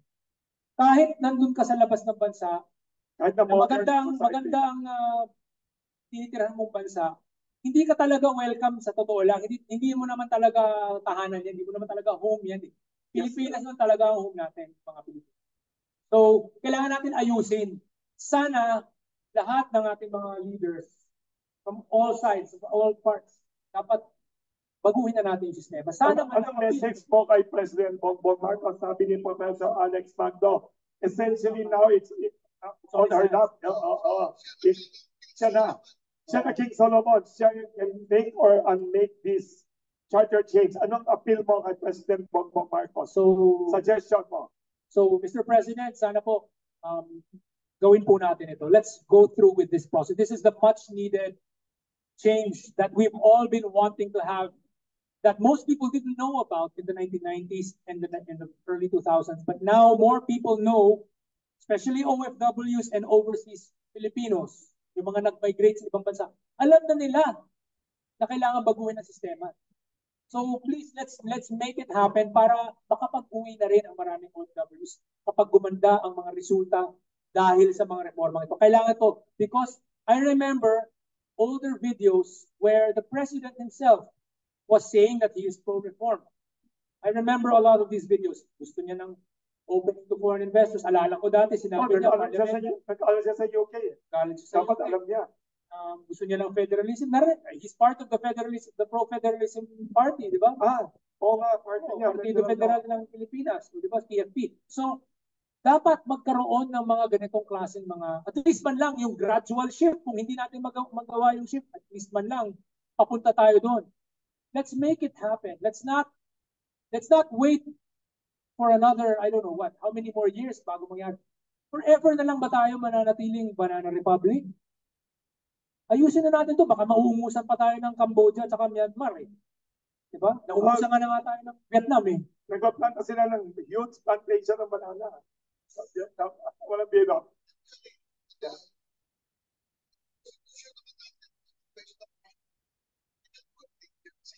Oo. nga. Ah,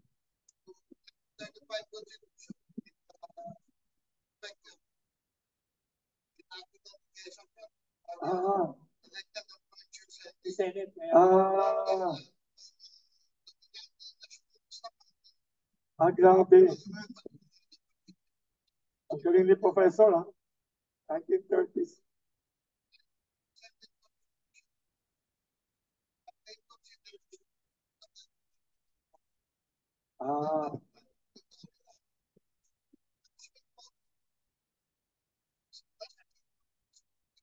classmate ko ang swing boat. Ah. Wow. siya yung one, Siya yung yung one vote na yon. Na nagkagulo-gulo politika natin.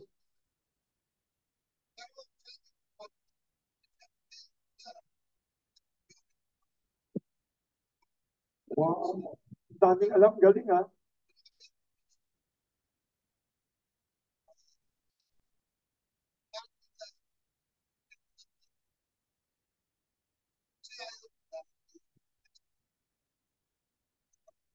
Ah. Ah, that's the reason. That's mga contingent. Narrow concerns at that time. Hindi long-term, bigger picture. Pina-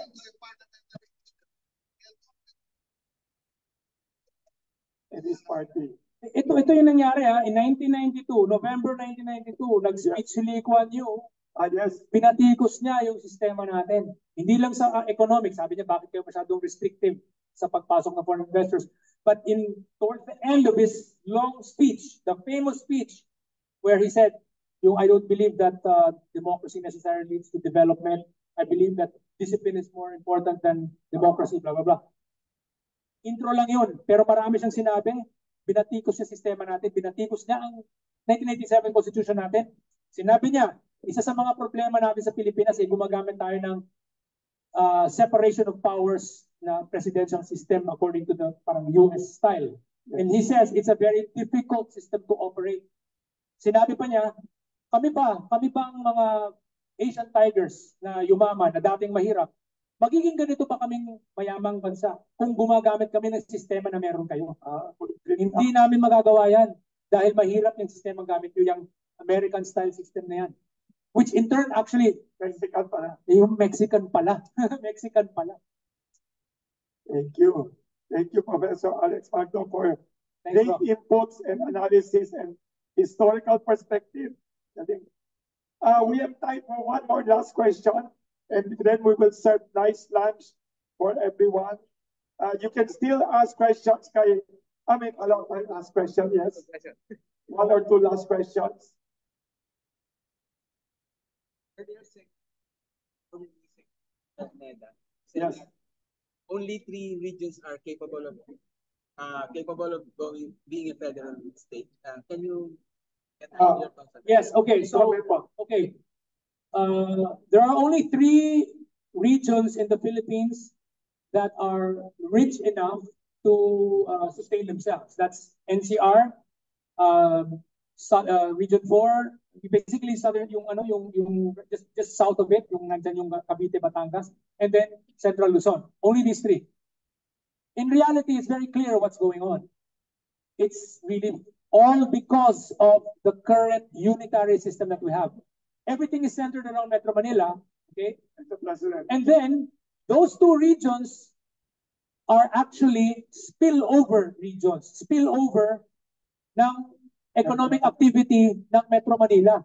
Kaya kaya, kaya tayo may re- yung region 4, yung ano, yung yung southern, yung Calabarzon pala, Calabarzon, kaya sila mayaman.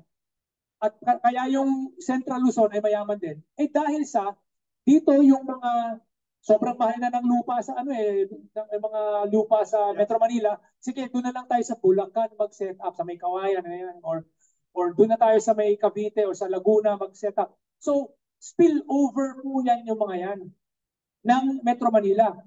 Huwag nating sabihin na hindi tayo mag-federal dahil ganyan lang ang nangyari. Kaya nga tayo mag-federal para mabago na yung situation na hindi lang yung tatlong yan Ah, ang, ang, mo. ang, ang mayaman. So, pag nagkaroon tayo ng transition, hindi ibig sabihin na automatically magiging self-sufficient yung mga yan. Hindi. Teka lang. Ito, ako yung nag-invento nitong an- analogy na to na ginagamit ni Senator uh, Robin Padilla sa kanya mga interviews. Uh, I made an analogy where ang federalism para yung pamilya. Pag may federal may federal government, yung national government, para yung mga magulang, tapos yung mga regions, eh parang mga anak. Eh kung sa pamilya, hindi naman lahat ng mga anak ay pareho ng edad. Di ba? Meron kang mga anak siguro na, lalo na sa mga big families na mga 10, pa- 10, 10 kids, di ba? Merong iba na yung nakapagtapos na ng college, may iba na kolehiyo pa, may iba high school pa, may iba grade school pa. Yung mga bata pa na, yung mga bata pang anak, syempre, tinutulungan ng, binibigyan ng allowance yan. Ginagabayan ng mga magulang yan. Yung mga nagtapos na ng kolehiyo at nag, nagtatrabaho na, eh pwede na kayong on your own. So ganun din ang mga regions. Yung mga mayayaman na regions, okay, you're medyo autonomous ka na. Ngayon yung mga hindi pa masyadong well-developed, eh tinutulungan pa rin. Tinutulungan para eventually maging self-sufficient din sila. Yun dapat ang ginagawa sa federalism. Yung tinatawag natin gradual evolving federalism. Yun po yung sinusulong namin. Hindi na, wala kami sinasabing magkakaroon tayo ng, pag nag-federal tayo, diretso lahat magiging self-sufficient.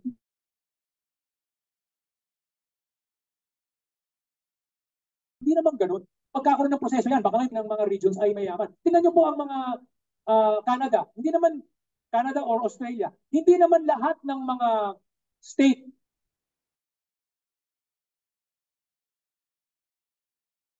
lahat ng mga subnational Australia ay mga state. Meron ding mga territory like the Northern Territory in Australia which is relatively poor and sparsely populated. Hindi sila state kasi wala pa masyadong tao doon. Ganon din yung mga sa USA. Sa USA, hindi lahat dati ay naging state. Ang Mex ang ah, sorry, ah, Alaska, Alaska at saka Hawaii, 1959 lang yata sila naging state. Kasi before that, they were territories dahil hindi pa sila self-sufficient. So may chance din yan. Ibig sabihin, if we don't start now, edi forever ganyan. Forever ganyan. Lagi lang Metro Manila. So, maganda- yung erratic na ano. So magandang logic mo in answer to the observation. Very good. Thank you. Thank you very much. So, ah, may question dito. Uh, microphone, please. Yes. Uh, Kung pag-iabot. may, dal- kung may dalawa, tatlo, okay pa. Yes, pwede pa. Yes, yes. Oo. I-exhaust na natin to. Yes, para yes. tanong. Oo. Baka pwede ka mag-start ng soap mamaya habang nag Yes. Yes. Tanong ko kasi, ah, I think there, there are some who are divided into kasi ah, there are concerns regarding the 100% ownership, especially dun sa property. So may Ah, mga fears sila na dito pag ito, itong uh, pag-amyenda ng salitang batas, ah, baka daw hindi na, may, may end up na hindi na tayo may-ari ng Pilipinas Mga because we farms, will provide ba? 100% Yun lang yun ito ownership. So that's my first question. So what can you that? And then that's the next question is pagdating po sa federalism, there are also fears na kasi di ba pag federalism po yung national government, hindi na sila ang magsusupply ng pondo sa mga LGUs. So you're entirely on your own to produce your own Okay, I just answered that earlier. Just I already gave an answer to that. I said, parang pamilya po yan. Yung mga LGU na hindi pa masyadong mayaman ay tutulungan it, mag, na mag-transition para maging mas mayaman, maging self-sufficient. So, nasagot ko na po yan yung sa part ng federalism. Hindi po ibig sabihin na pag nag-shift to federalism tayo, agad-agad ay you're on your own. Hindi po. Gaya ng sinabi ko, parang pamilya yan. Yung mga anak na hindi pa tapos sa pag sa kolehiyo, ay binibigyan pa rin ng abo ng ano ng ah, ng tulong, binibigyan ng allowance at uh, ginagabayan ng mga magulang. Saka na kapag natapos ka na sa kolehiyo at may trabaho na, diyan ka na mag- magiging medyo autonomous na. Pero yun po, nasagot kaka, kakasagot ko lang po nung tanong niyo on federalism. So ngayon, doon tayo sa lands. Nasagot ko rin po yun actually kanina. So yung question diyan, pag sinabi ko doon kanina na kinakailangan natin i-separate yung issue ng foreign ownership of businesses versus foreign ownership of lands dahil hindi po sila magkapareho.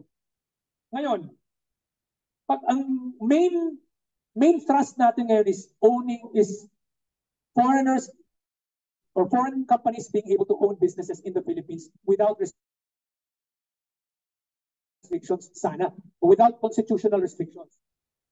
Ngayon, dun sa question ng land, pag kahit inapla, in, inallow natin na maging may-ari ng lupa ang mga foreigners, hindi po ibig sabihin na automatically lahat ng mga lupa ay pag, pag magiging may-ari ng ng foreigners. Kasi pwede po tayong gumawa ng legislation na magse-safeguard tulad ng magse-safeguard sa rights ng mga Pilipino. Unang-una, gayahin natin ang Malaysia or pag-aralan natin anong ginagawa ng Malaysia. Sa Malaysia, nasabi ko na to kanina, meron po silang categories ng land. Meron silang land na reserved only for the indigenous people and Malays.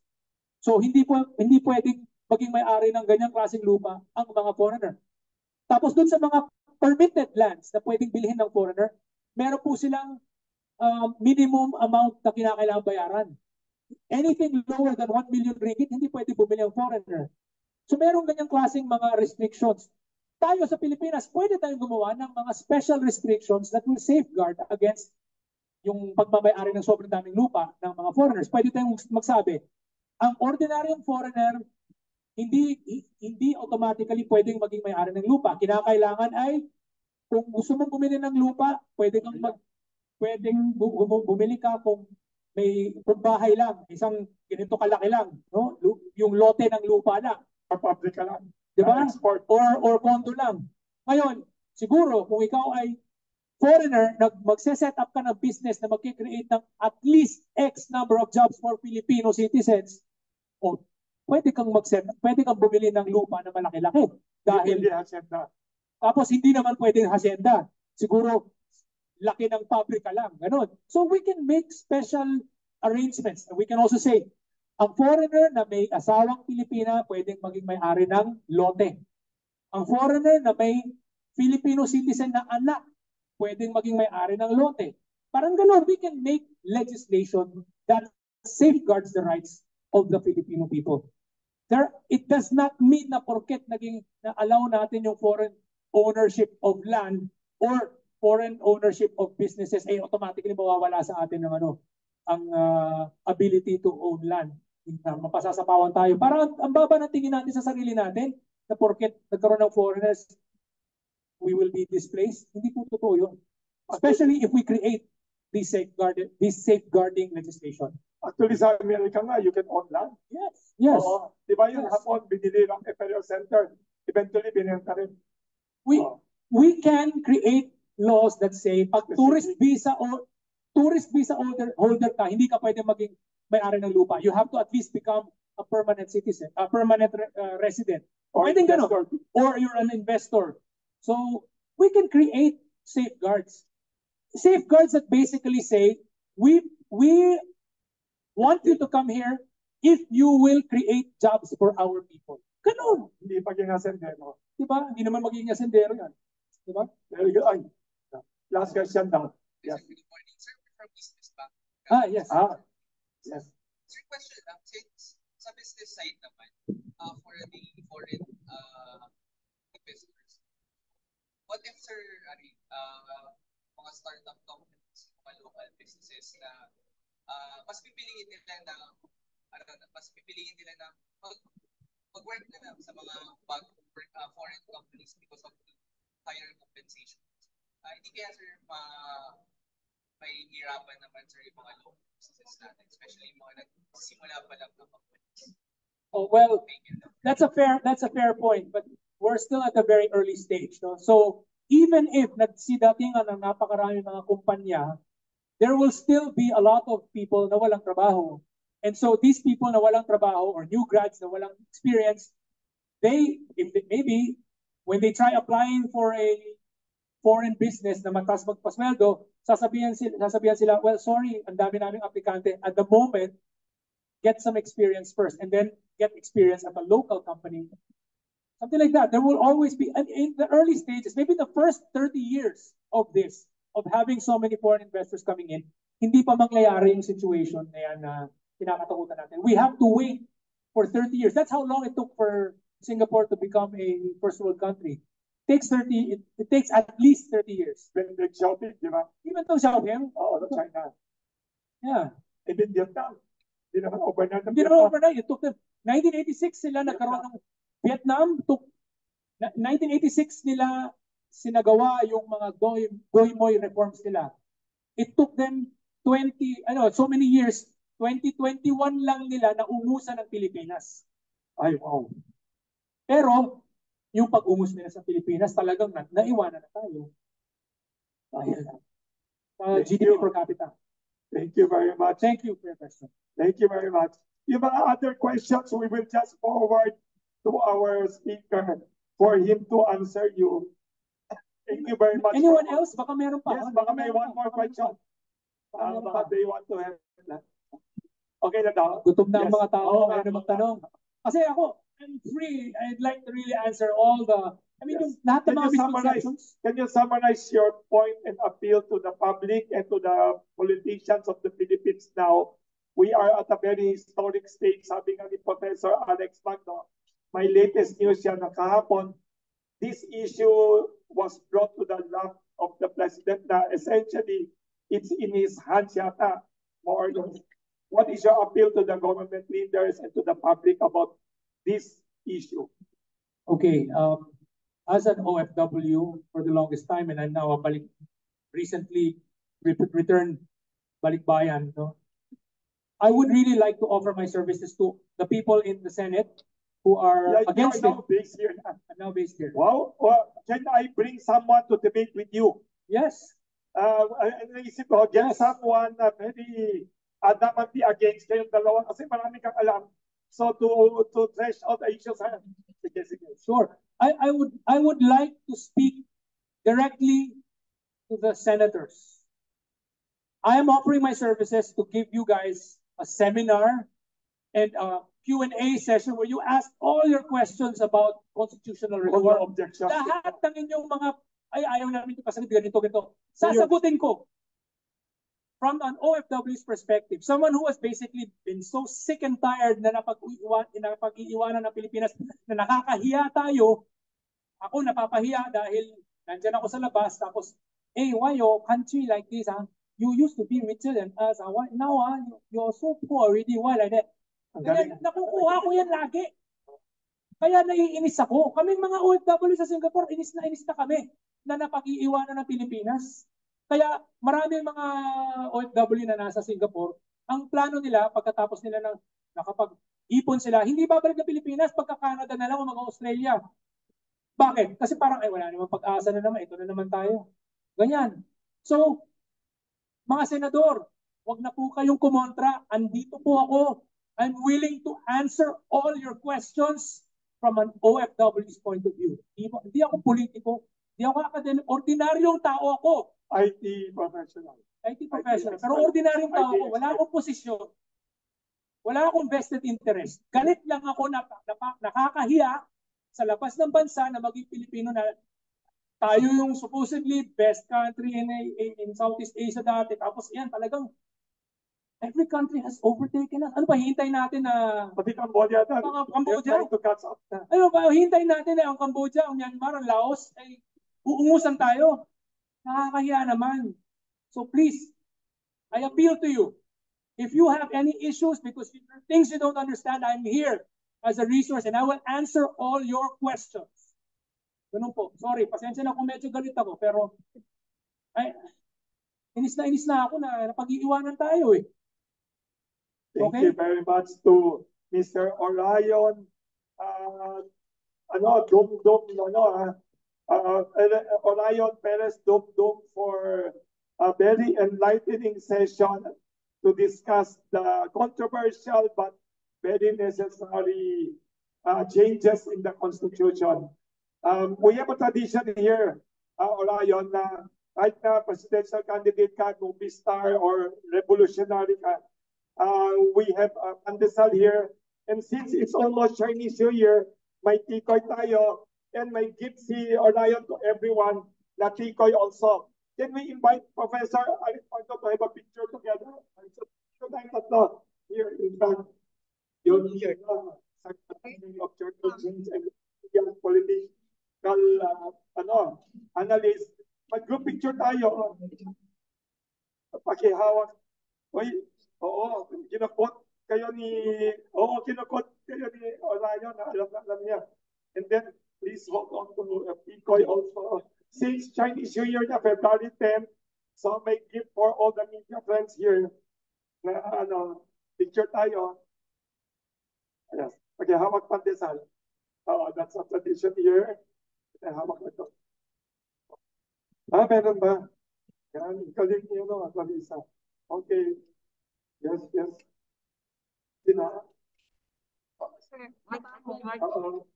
Oo.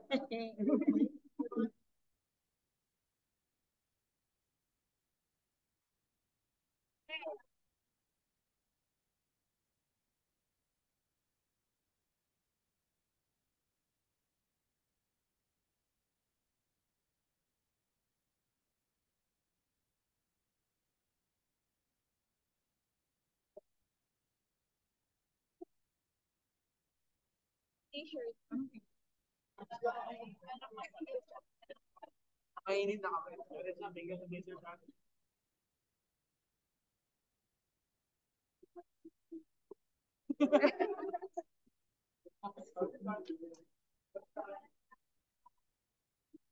mag-lunch tayo and then kung may questions kayo, please uh, as si uh, Orion or si Professor Alex Pagdo.